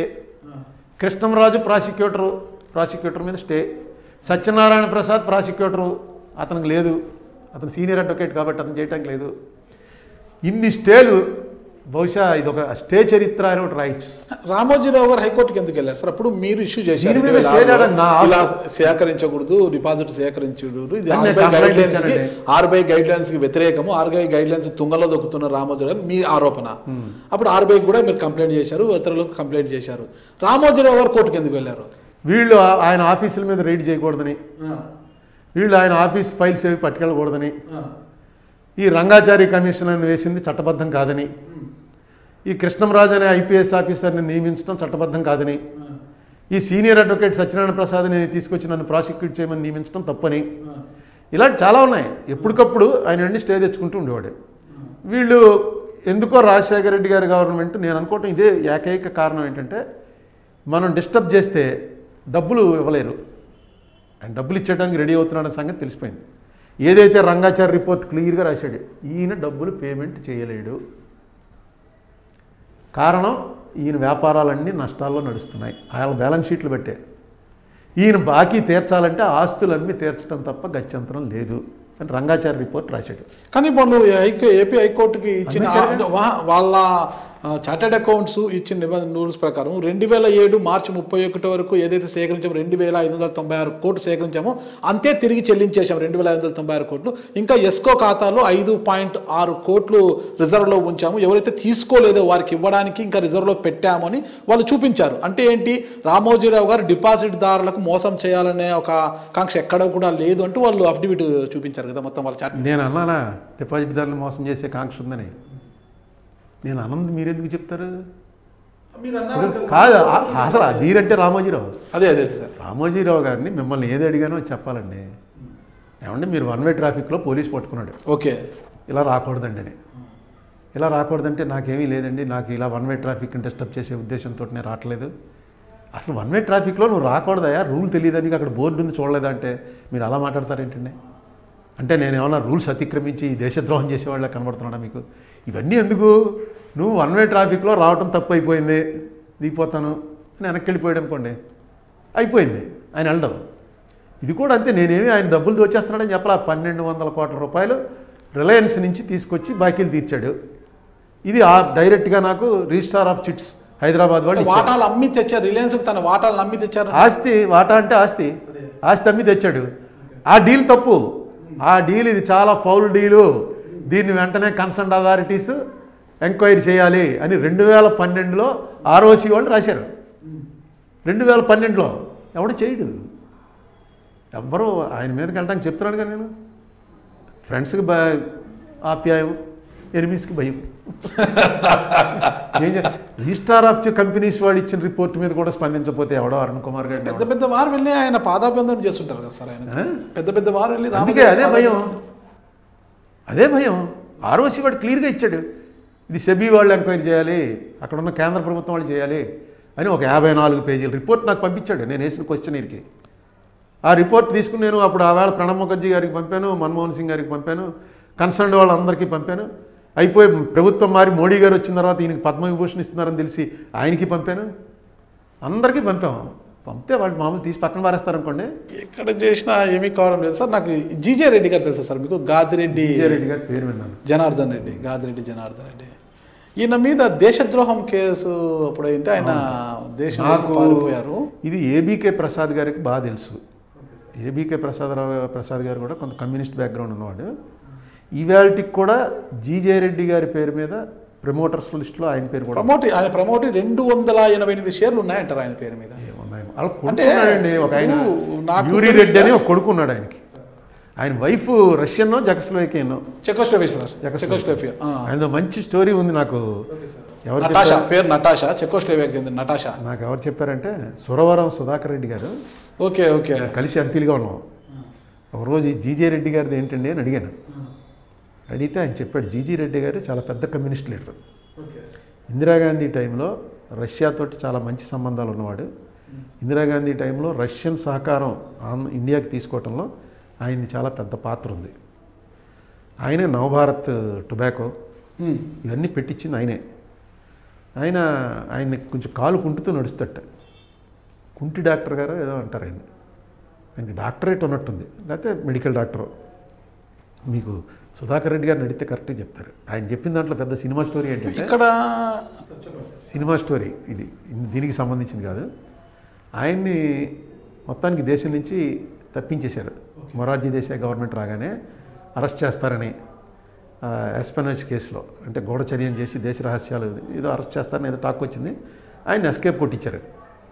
కొట్టిస్తే ఆయన వైఫ్ ఈ రష్యన్ లేడీయో ఎవరో జకస్లోవేకియన్ కమిషనరేట్లో పనిచేస్తుంది ఆవిడ అంటే రాయబార కార్యాలయంలో ఆవిడంది. ఆవిడని వెళ్ళి అరెస్ట్ చేశారు. ఓకే. చేస్తే అప్పుడు దాకా ఆవిడ మొహం చూడని కవిటంలో కవిటం అని వాళ్ళ ఊరుట. అక్కడ వాళ్ళ ఫాదరు మదరు. ఎవరు father mother? G J Reddy గారి ఫాదర్ మదరు. వీళ్ళిద్దరూ వెళ్ళి ఢిల్లీలో నిరాహార దీక్ష కూర్చున్నారు. మా కోడలను విడుదల చేయండి ఆ కోడలను అప్పటి వరకు చూడలేదు. ఆవిడ వీళ్ళని చూడలేదు. కూర్చుంటే అది పెద్ద సెన్సేషన్ అయింది. అయిన తర్వాత మొత్తానికి ఏదో జరిగింది. ఇందిరాగాంధీ వచ్చాక విడుదల చేశారో ముందే విడుదల చేశారో ఆవిడని విడుదల చేశారు. ఇక్కడ ట్విస్ట్ ఏంటంటే ఎవరో నేను ఎవరో తెలియనటువంటి నన్ను తన కొడుకు భార్య అని చెప్పి వాళ్ళు వచ్చి ఇక్కడ ముసలాళ్ళు ఇద్దరు నిరాహార దీక్ష చేసి నన్ను విడిపించాలని గొడవ చేశారు. నేను ఇంకా నా దేశం వెళ్ళదని వీళ్ళతో పాటు ఆ పల్లెటూరుకు వచ్చేసి చచ్చిపోయేదాకా ఇక్కడే ఉందట. Great sir. సుధాకర్ రెడ్డి గారు చెప్పారు.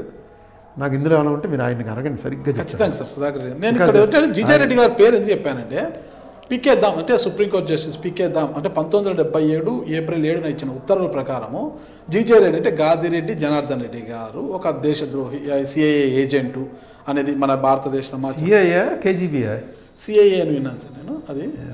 ఏజెంటు ఆయనను దేశద్రోహం కింద కేసు ఆయన భారతదేశం వదిలి వెళ్ళిపోయారు. అప్పుడు ఆయన ఆస్తులన్నీ కూడా భారతదేశ ప్రభుత్వం స్వాధీనం చేసుకొని తీర్పిచ్చారు. అప్పుడు ఆ దాంట్లో పేర్కొన్న చెప్పిన ప్రకారం అప్పటికే జీజే రెడ్డి గారు మార్గదర్శి ప్రమోటర్గా ఉన్నాడు. ఆయనకు మార్గదర్శిలో రెండు వందల ఎనభై ఎనిమిది షేర్లు ఉన్నాయి.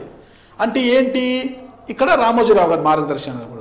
అప్పుడు జీజే రెడ్డి గారు మీద భారత దేశద్రోహం కేసు నమోదైన భారతదేశం వదిలిపెట్టి వెళ్ళిపోయినప్పుడు కూడా అది అంతో ఇంత రామోజీరావు గారికి వర్తిస్తుంది అది. ఇక్కడ ఆయన ప్రమోటివ్గా ఉన్నాడు ప్రమోటర్గా ఉన్నాడు కదా. అప్పటికేంటి? రామోజీరావు కూడా శైలజ గారికి వంద షేర్లు ఉన్నాయంటున్నారు ఇప్పుడు రామోజీ దానికి.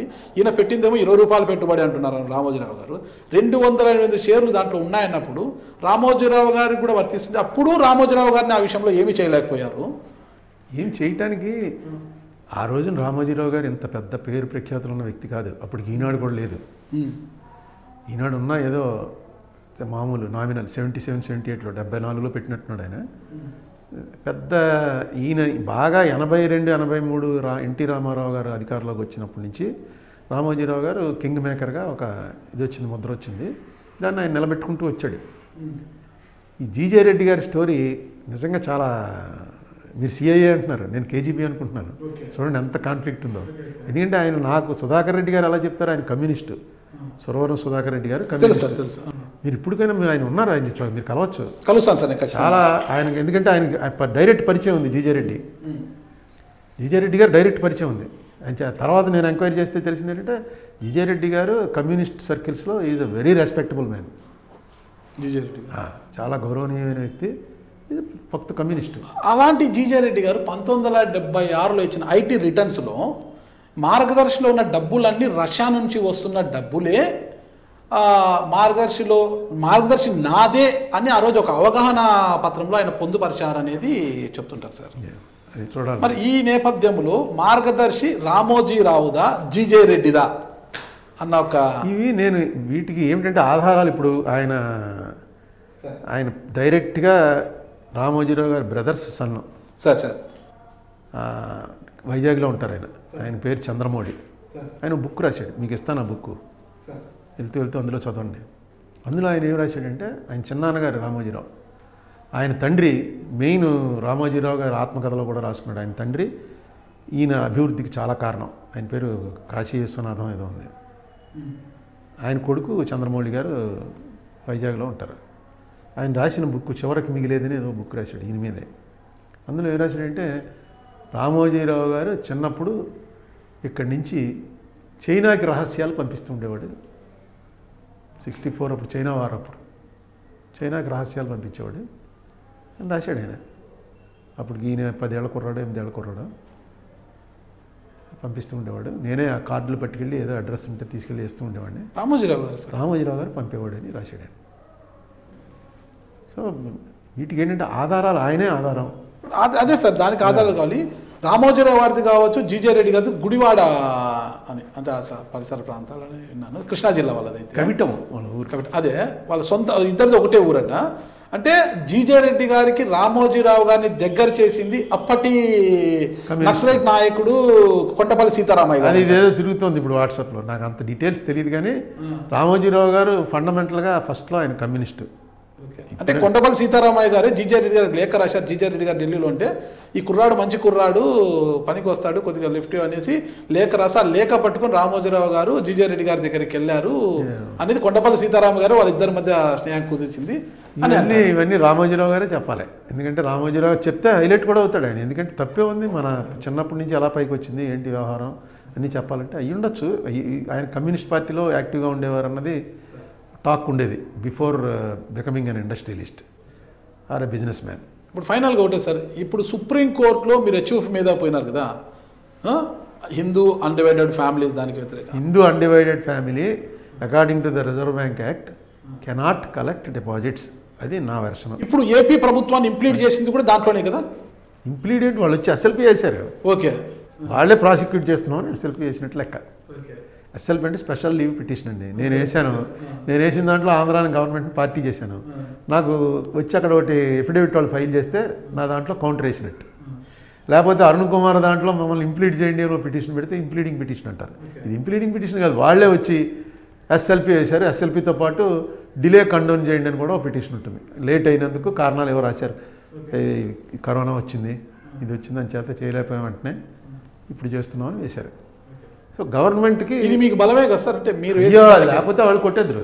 అంటే ఇప్పుడు ఏపీ ప్రభుత్వం మీకు బలాన్ని చేకూర్చింది అనుకోవచ్చా? ఖచ్చితంగా.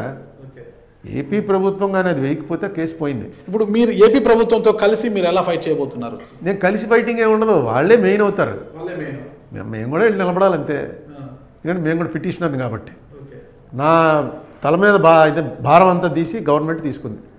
గవర్నమెంట్కి ఇదేం పెద్ద లెక్క కాదు. ఇదే విషయమే అక్కడ ఉత్పన్నమైతే ఇంతవరకు అయింది. ఎవరు ఫిర్యాదు చేయలేదు ఎక్కడ కేసులు లేవు ఏం లేదు. డిప్ వాళ్ళు ఇచ్చిన అఫిడవిట్ ప్రకారం డిపాజిట్దారుల దగ్గరకు రెండు వేల ఐదు వందల తొంభై ఆరు కోట్లు చెల్లించేశారట కదా. ఇక వచ్చిన నష్టం ఏంటి అన్నదే ఉత్పన్నమవుతే? అదే సేమ్ ఇందాక సారా కాశారు అదే. ఏంటి నష్టం ఏంటని? నిజంగా వాడు సారా కాచుకుంటున్నాడు వాడు అమ్ముకుంటున్నాడు తాగేవాడికి ఇష్టమైంది. ఎవడో చచ్చిపోలేదు. ఎందుకండి వాడిని పట్టుకుని బాధపెడతారు? ఏ రకంగా ఏ యాక్ట్? అంటే ఇదిగోనండి అరవై రెండులో యాక్ట్ చేసామంటే వీడు పద్దెనిమిది వందల అరవై రెండు నుంచి కాలుస్తున్నారండి వీళ్ళు. మీరు పంతొమ్మిది వందల అరవై రెండు యాక్ట్ వాడికి ఎలా చెల్లుతుంది? అంటే అర్థం ఉందా? మీరు చేస్తున్నది తప్పు అంటున్నాం మేము. నువ్వు డబ్బులు దొబ్బేసావనో వాడికి ఎగ్గొట్టావనో నేనేం అంటలే. సార్ ఫైనల్గా ఇది కాస్త ఇబ్బందిగా అంటే నాకేం ఇది కాదు కానీ అది కరోనా ఫీల్ కావచ్చేమో. రెండు వేల ఆరులో రాజశేఖర్ రెడ్డి గారు మీ భుజం మీద తుపాకీ పెట్టి రామోజీరావు గారిని కాల్చాలని చూశారు. అది వీగిపోయింది. ఇప్పుడు ఆయన తనయుడు ఏపీ ముఖ్యమంత్రి వైఎస్ జగన్మోహన్ రెడ్డి గారు అదే ఉండవల్లి అరుణ్ కుమార్ గారు భుజం మీద తుపాకీ పెట్టి రామోజీరావు గారిని కాల్చడానికి చూస్తున్నారని తెలుగుదేశం పార్టీ వారు ప్రధానంగా ఆరోపిస్తున్నారు. ఇప్పుడు ఇందులో నాదంత బలమైన భుజమేం కాదు. అదే రాజశేఖర రెడ్డి జగన్ రెడ్డి కన్నా పెద్ద బలమైన భుజమేం కాదు. ప్రాసిక్యూట్ చే నా లెక్క ప్రకారం ఇప్పుడు కూడా కేసీఆర్ గవర్నమెంట్ ఇంకా వేయకపోవటం చాలా తప్పు. ఓకే. ఎందుకు వేయట్లేదో నాకు అర్థం అవట్లేదు. జగన్మోహన్ రెడ్డి అంత లేటుగానే వేసాడు. ఫోన్లన్నీ లేటుగానే వేసాడు అనుకున్నాం. రామోజీరావుని పేల్చాలనుకుంటే అతను అప్పుడే ఆ రోజునే వేసి నేను పంపించిన రోజునే. ఓకే. రెండు వేల పంతొమ్మిదిలో ఈయన సీఎం అయిన తర్వాత ఫస్ట్ లెటర్ని రాసింది ఇదే. ఈయనకి కేసీఆర్కి ఇద్దరికి రాశాను. ఆయన ఇంకా స్పందించలేదు ఈయన స్పందించాడు. ఇందులో చట్టం ఉంది చట్టం అతిక్రమించాడు. అతిక్రమించలేదు అని ఆయన అంటున్నాడు అతిక్రమించారు అతిక్రమించాడు అని నేను అంటున్నాను. ప్రభుత్వం కూడా అంది రిజర్వ్ బ్యాంక్ కూడా అంది అతిక్రమించాడు అని. ఆయన కూడా ఒప్పుకున్నాడు వెనక్కి ఇచ్చేస్తున్నాను అని. ఇప్పుడు ఇవాళ వసూలు చేస్తున్నాడు. ఇప్పుడు డైరెక్ట్గా డిపాజిట్ అన్న హెడ్డింగ్ తీసేసి రిసీట్ అని హెడ్డింగ్ పెట్టి దాని మీద ఇంట్రెస్ట్ రేట్లు అన్నీ వేస్తున్నాడు. మీరు చీటీ పాడుకుంటారు? పదివేల రూపాయలు చీటీ అండి.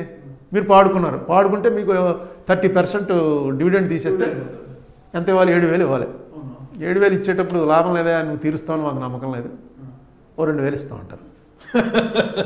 ఇదే జరుగుతుంది. అలా కాదు సార్. షూరిటీలు సబ్మిట్ చేసుకుంటారు కదా సార్? షూరిటీలు మాకు నచ్చలేదు. మాకు అట్లీస్ట్ మోడీ గారు అమిత్ షా గారు సంతకం పెడితే తప్ప మాకు కుదరదు. మేమే నేను బైడెన్ సంతకం అడుగుతున్నావా? లేకపోతే షనక్ సంతకం అడుగుతున్నావా? ఇక్కడే కదా ఉన్నారు ఢిల్లీ వాళ్ళిద్దరు సంతకాలు పెట్టరా? ఇది ఎక్కడ కూడా సార్? నేను ఎక్కడ తేగలండి అదే అంటాడు. నేను నేను ఇవ్వలేము మీకు. మరి ఎలాగండి? ఏం చేస్తాను నేను నాకు డబ్బు అవసరం అండి. అర్జెంటుగా మా అమ్మాయికి హాస్పిటల్ తీసుకెళ్ళి కాలేజీ ఫీజు కట్టాలి. అందుకే చేరాను చీటీలో. ఎంత కాలేజీ ఫీజు? ఐదు వేలండి సరే ఐదు వేలు ఇస్తాం. మిగతా రెండు వేలు మా దగ్గర అట్టే పెట్టుకుంటాం. కరెక్ట్గా కట్టేయాలి. చూసుకో. అని నీ రెండు వేలు ఉత్తినే మాకు అక్కర్లేదు. ఇగో రసీదు. ఫోర్ పర్సెంట్ ఇంట్రెస్ట్ కూడా ఇస్తాం. అంటే మీరు ఆయన వ్యాపారానికి నాలుగు పర్సెంట్ వడ్డీకి రెండు వేలు ఇచ్చేస్తున్నారు. అదే లక్ష రూపాయలది అయితే పాతిక వేలు. ఇదే విరుద్ధం. డైరెక్ట్గా రాసి బ్యాలెన్స్ షీట్ ఇది నేనేం ఆరోపణ కాదు. బ్యాలెన్స్ షీట్లో రాస్తారు. ఫ్యూచర్ పేమెంట్స్ కోసం కొంత డబ్బు ఉంచుకుంటున్నాం. ఫ్యూచర్ రీపేమెంట్స్ కోసం. ఫ్యూచర్ రీపేమెంట్ కోసం. ఆ డబ్బు రిసీట్ ఇగో ఎంత ఇస్తున్నాం అని పోనీ ఆ డబ్బు పట్టుకెళ్ళి బ్యాంకులో వేరే అకౌంట్లో వేశారంటే వాళ్ళ అకౌంట్లోంచి వాళ్ళ వ్యాపారాల్లోకి వెళ్ళిపోతుంటుంది నిజంగా ఇది ఈ నెట్వర్క్ ఎలా తయారు చేశారంటే అది రామోజీరావు గారి బ్రెయిన్ నుంచి వచ్చి ఉంటుంది. మామూలుగా కాదు మొత్తం ఆయన ఆస్తులన్నీ కూడా ప్రజాధనంతో డెవలప్ అయ్యాడు. ఆయన ఇన్వెస్ట్మెంట్ ఏమీ లేదు. అది కలిసి వచ్చింది. ప్రజలకు కూడా వెనక్కి ఇచ్చేస్తున్నాడు. కానీ అన్ని చట్ట విరుద్ధమే ఇప్పుడు చట్ట ప్రకారం చట్టం ఎందుకు ఏర్పాటు చేస్తారు? చట్టం ఉన్నప్పుడు ఇలాంటి పనులు చేసి మతలబులు చేసేవాళ్ళని అరికట్టడం కోసం. అదే నేను మతలబు చేయనండి నేను ఎందుకు చేస్తానండి? నా మీద ఎందుకు పడతారు? నాకు ఆ చట్టం వర్తించింది. నేను ఎప్పుడైనా ఎవరికైనా కొట్టానా? చెప్పండి. అంటే అర్థం ఇంకా. రేపు నుంచి మార్గదర్శి బ్యాంక్ అని ప్రతి ఊర్లో బ్యాంక్ పెట్టేయచ్చు. బ్యాంక్ పెట్టాలంటే లైసెన్స్లు అవి తీసుకోవాలి కదండి. నాకు లైసెన్స్ ఏంటండి? నలభై ఏళ్ళ నుంచి రన్ చేస్తే ఎవరికైనా రూపాయి ఎగ్గొట్టానా? నన్ను వచ్చి లైసెన్స్ అడుగుతారు. అదే సార్ ఇప్పుడు ఏపీ ప్రజలకు మీరు ఒక్క పాయింట్లో నాకు క్లారిటీ ఇచ్చేయండి. అదే అందరూ కూడా. పంతొమ్మిది వందల అరవై రెండులో ప్రారంభించి మార్గదర్శిని ఇప్పటి వరకు ఒక కార్యకలాపాల ఒక నిజాయితీ పరుడుగా ఉన్న రామోజీరావు మీద ఉండవల్లి అరుణ్ కుమార్ గారు కామెంట్స్ చేయడము కేసులు వేయడము ఏపీ ప్రభుత్వం కూడా కొరడా జులిపించడము దాడులు చేయడము ఇవన్నీ ఏంటి ఎందుకు జరుగుతుందని పెద్ద గందరగోళంలో ఉన్నారు సార్. వారికి ఆ ప్రజలకు ఆ గందరగోళంలో ఉన్న ప్రజలకు స్ట్రైట్గా ఆన్సర్ చెప్పండి సార్ మీరు వాళ్ళకి. క్లియర్ చేయండి వాళ్ళకు. ఇందులో ఏం గందరగోళం ఏం లేదండి. రా ఇందాక సారా కదే. రామోజీరావు గారు ఆయన చేస్తున్నటువంటి వ్యాపారాలు చేయడానికి ఏ రూల్స్ అయితే ఉన్నాయో ఆ రూల్స్ని ఏమి ఫాలో అవ్వడం. ఎందుకంటే కరెక్ట్గా పేమెంట్ ఇచ్చేస్తుంటే నీకేంటే బాధ అంటాడు. అలా ఇచ్చేసిన వాళ్ళు ఎవడో రూల్స్ ఫాలో అవ్వక్కర్లేదని ఒకటి యాక్ట్ చేసేమనండి రేపు చంద్రబాబు నాయుడు గారు మొన్నటి దాకా ఉన్నాడు కదా ఆయన టైంలో చేయించవచ్చు లేకపోతే ఇప్పుడు మోడీ గారు ఉన్నారు. ఒక యాక్ట్ చేయించండి ముప్పై ఏళ్ళ పాటు ఏ రకమైనటువంటి అవకతవకలు లేకుండా ఎవడైతే డబ్బులు పే చేశారో అటువంటి చిట్ ఫండ్ కంపెనీల వాళ్ళకి ఈ రూల్స్ ఏవి వర్తించవు. మీరు వ్యాపారం చేసుకోండి. మీరేమి మీరు బ్యాలెన్స్ షీట్లు పబ్లిష్ చేసి మీ ఇష్టం వచ్చినట్టు చేసుకోవచ్చు. అని చెప్పి రూల్ చేసేమనండి అయిపోయింది. ఎవడ మాట్లాడడానికి లేదు. రేపు పొద్దున్న రామోజీరావు గారిని చూసి ఇంకోటి కృష్ణాజీరావు మొదలెడతాడు. ఇంకో అప్పారావు మొదలెడతాడు. వాళ్ళని తీసుకెళ్ళి లోపలేస్తారా. గారు మాత్రం వెళ్ళకూడదు దగ్గరికి. ఎందుకంటే ఈయన ఎప్పుడు కరెక్ట్గా ఇచ్చేసాడని పోనీ ఎవరికి ఇచ్చేసావో చూపించవా అంటే నీకెందుకు చూపించాలి? కోర్టు స్టే ఉంది. ఎందుకు తెచ్చాడో తెలుసా స్టే అది?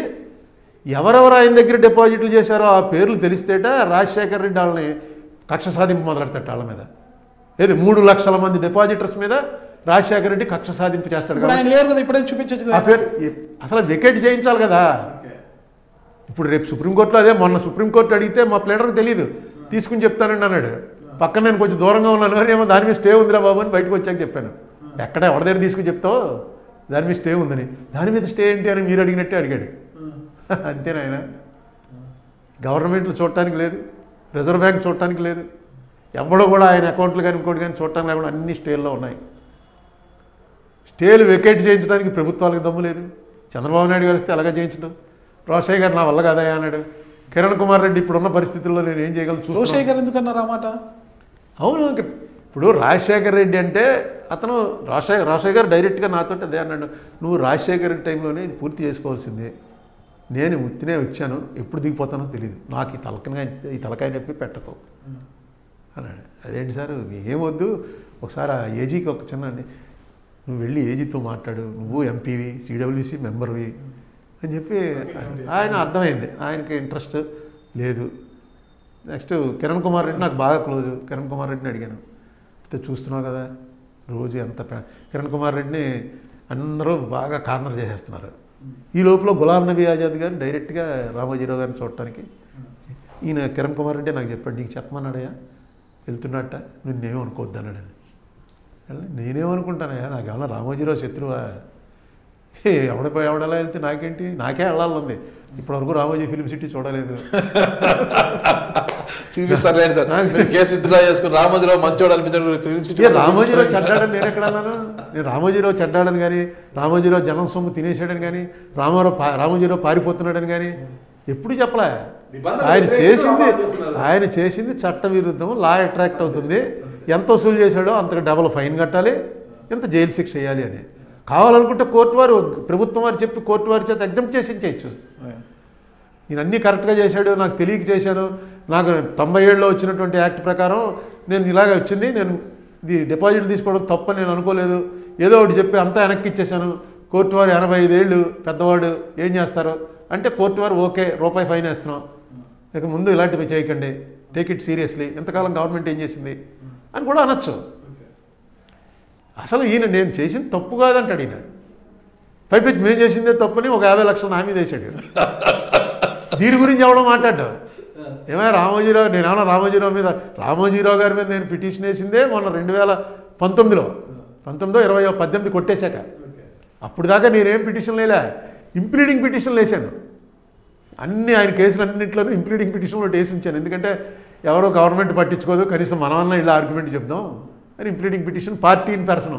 పెద్ద ప్లేటర్ను పెట్టుకునే తాత నాకు లేదు నేనే వచ్చి చెప్తాను అని వేసాను అవి పెండింగ్లో ఉన్నాయో అవి కూడా కొట్టిపారేసాను తెలియదు నాకు. ఏదో ఇప్పుడు రామోజీరావు గారిని అంత మరీ ఏదో గాంధీనో అంబేద్కర్నో వివేకానందునో బోస్నో ఆ లెవెల్లో ఆ రామోజీరావు గారు అనేటువంటి ఆరాధన ఏ మనిషిని చేయకూడదని చెప్పి చెప్పాడు అంబేద్కర్. అంబేద్కర్ కాంగ్రెస్ని తీవ్రంగా వ్యతిరేకించింది ఎందుకంటే ఈ వ్యక్తి ఆరాధనలోంచి బయటపడండి. దేవుడు అని గాంధీని అంటున్నారు సో అది కరెక్ట్ కాదు గాంధీ కూడా మనిషే అని. కానీ ఈవేళ అంబేద్కరే దేవుడు అయిపోయాడు ఏ వ్యక్తి ఆరాధన వద్దన్నాడు ఆయన ఆరాధన వచ్చింది. మన కల్చర్ అది. ఓ మనిషి గురించి అలా అనుకుంటాం అది తప్పది. Ramoji Rao garu is is a successful businessman is icon నేను అందులో వెనక తప్పు మాట్లాడినా. చాలా గొప్ప ఎలా వ్యాపారాలు చేసి ఎలా పైకి వచ్చాడు అన్నదానికి ఆయనది ఒక చరిత్ర. దాని పక్కనే నా బుక్ వస్తుంది.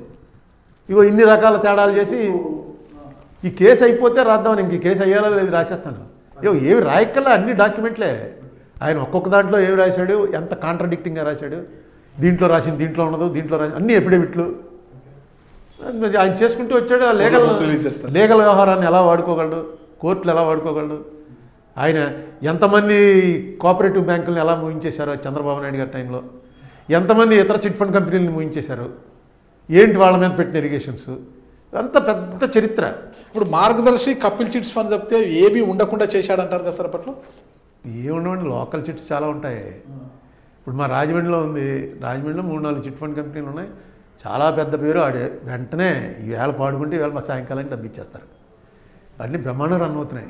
సార్ ఫైనల్గా సార్ ఇప్పుడే కాలతీతం అయిపోయింది. ఫైనల్ ఒకటి ఇప్పటికీ ఇంత పోరాటం చేసిన ఉండవల్లి అరుణ్ కుమార్ గారు కూడా మార్గదర్శి చిట్ ఫండ్స్కి మార్గదర్శి ఫైనాన్స్కి మధ్య తేడా అన్ని. అన్నీ ఒకటే అని చెప్పి ఆయన లేటెస్ట్గా బ్యాలెన్స్ షీట్లో పెట్టేశాడు.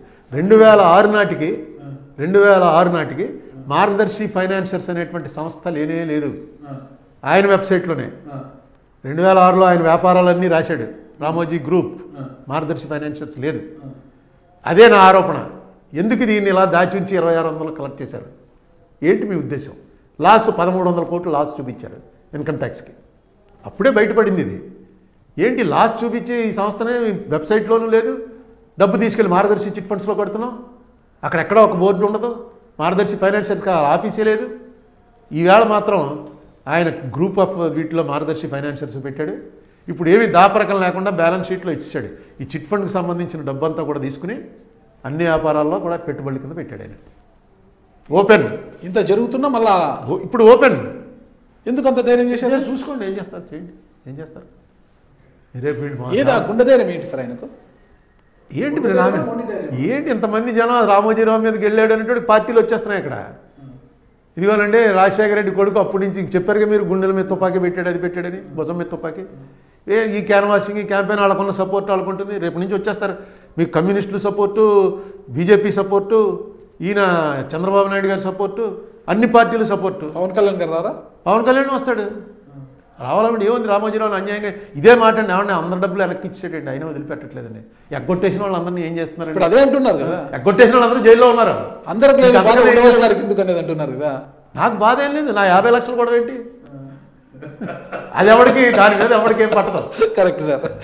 నా మీదకి ఆయన వచ్చాడు కానీ నేను ఆయన మీదకి ఎప్పుడు వెళ్ళా నేను ఆయన కేసు కొట్టేశాక వేశాను. ఇప్పుడు గవర్నమెంట్ వచ్చింది కాబట్టి నా పాత్ర తగ్గిపోయింది.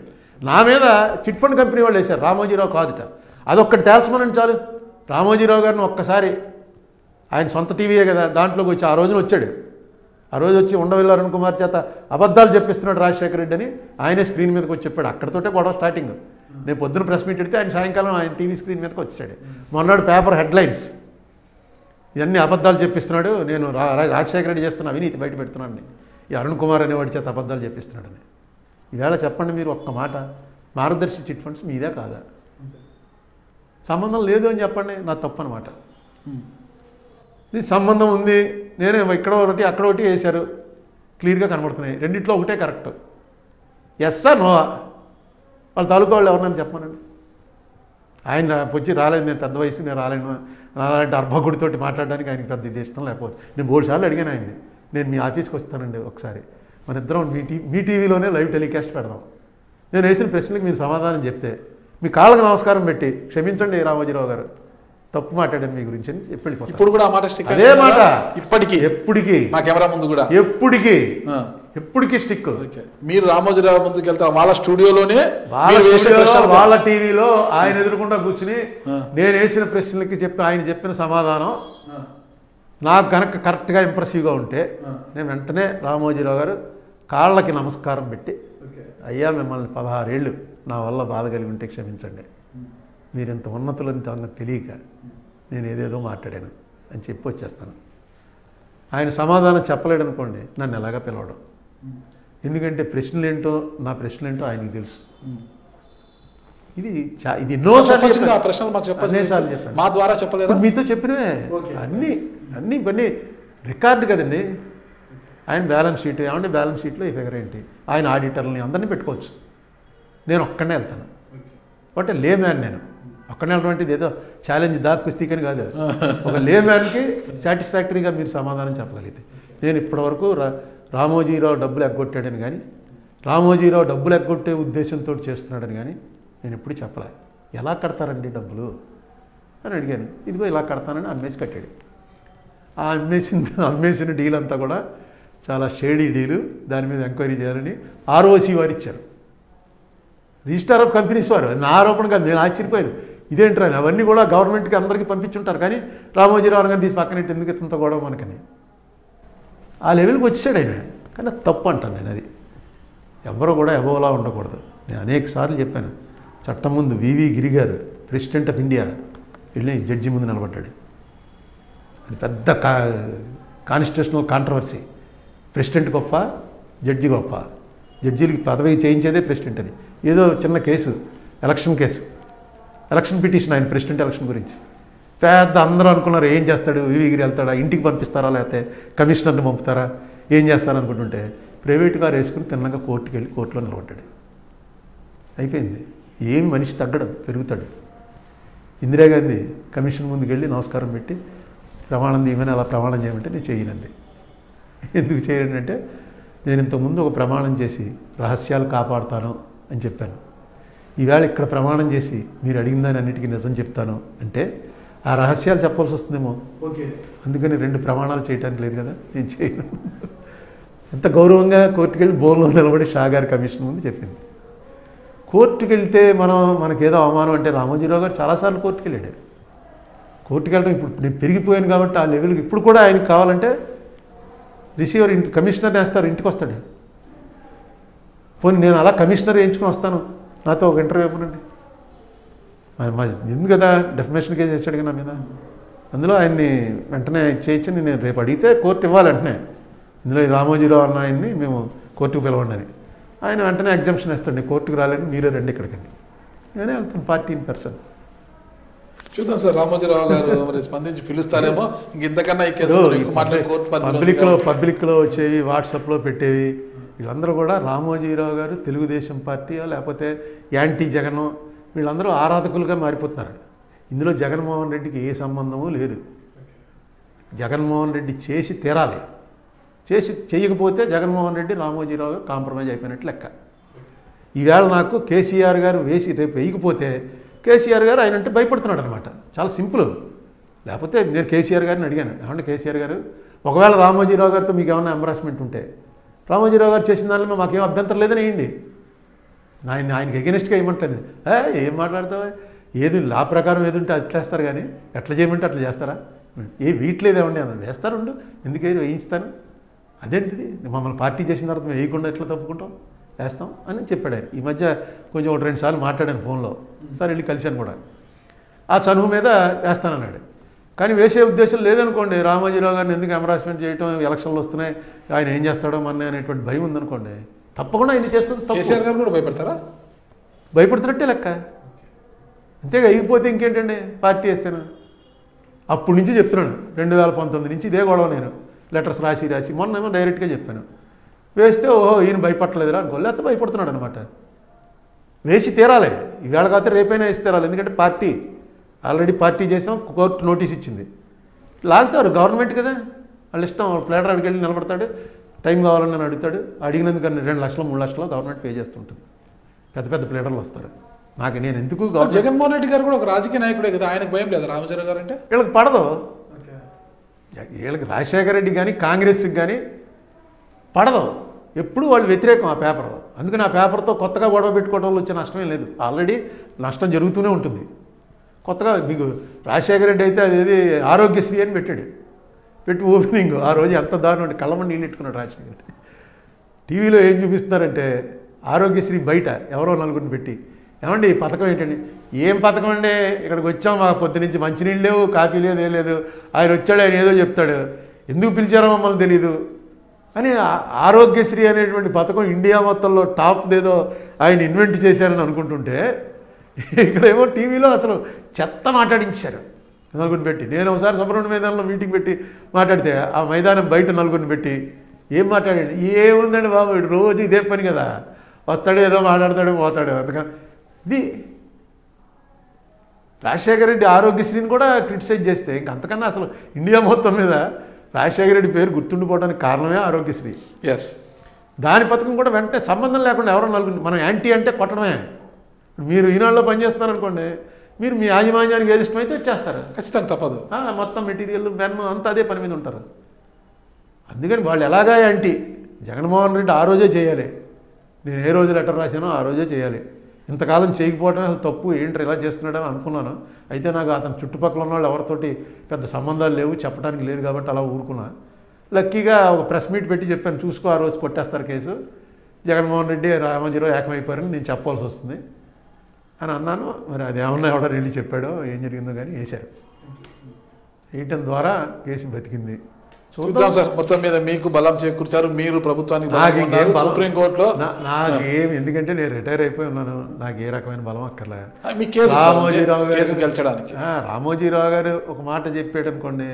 చెప్పడానికి ఏదైతే వెనకాడుతున్నాడో. ఇల్లీగల్గా ఏమన్నా జరుగుంటే దట్ అది కోర్టులో తేలుతుంది. కానీ నేను డబ్బులు ఎగ్గొట్టే ఉద్దేశంతో అలాంటి ఉద్దేశాలతో చేయలేదు. ఆ యాక్ట్లో మా వాళ్ళు చూసుకుంటారు. ఇదే పివి నరసింహరావు గారు చెప్పాడు. పివి నరసింహరావు కోర్టులో ఆఖరిని ఏం చెప్పాడు? వాళ్ళు అడ్వకేట్ పెద్ద ఆయన హార్ట్ మొన్న హార్ట్ ఆపరేషన్ చేయించుకున్నాడు. అంటే ఇక ఒప్పుకున్నట్ట మొన్న మొన్న హార్ట్ ఆపరేషన్ చేయించుకున్నాడు. కొంచెం చూసి రోజు ఎక్కడికి పారిపోతాడు ఆయన? ఆయన బెయిల్ ఆయన కనుక మీరు బెయిల్ ఇవ్వమంటే జైల్లో ఉంటే ఆరోగ్యం దెబ్బతింటుంది. ఆలోచించండి. అంటే ఓకే బెయిల్ ఇచ్చాడు.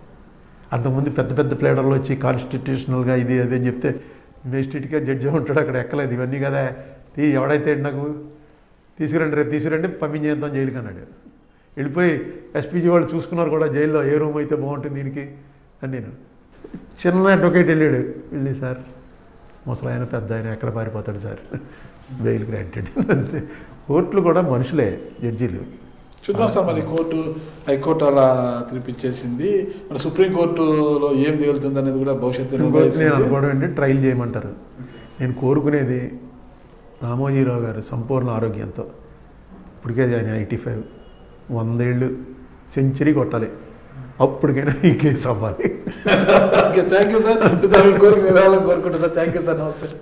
మీరు చూస్తున్నారు ఐ డ్రీమ్ న్యూస్ని. Please subscribe iDreams. IDreams. For more videos subscribe iDream. Please subscribe for more videos iDream iDream for more videos subscribe iDream please subscribe subscribe iDream channel do subscribe iDream iDream ఛానల్ని. Subscribe చేయండి. Do watch iDream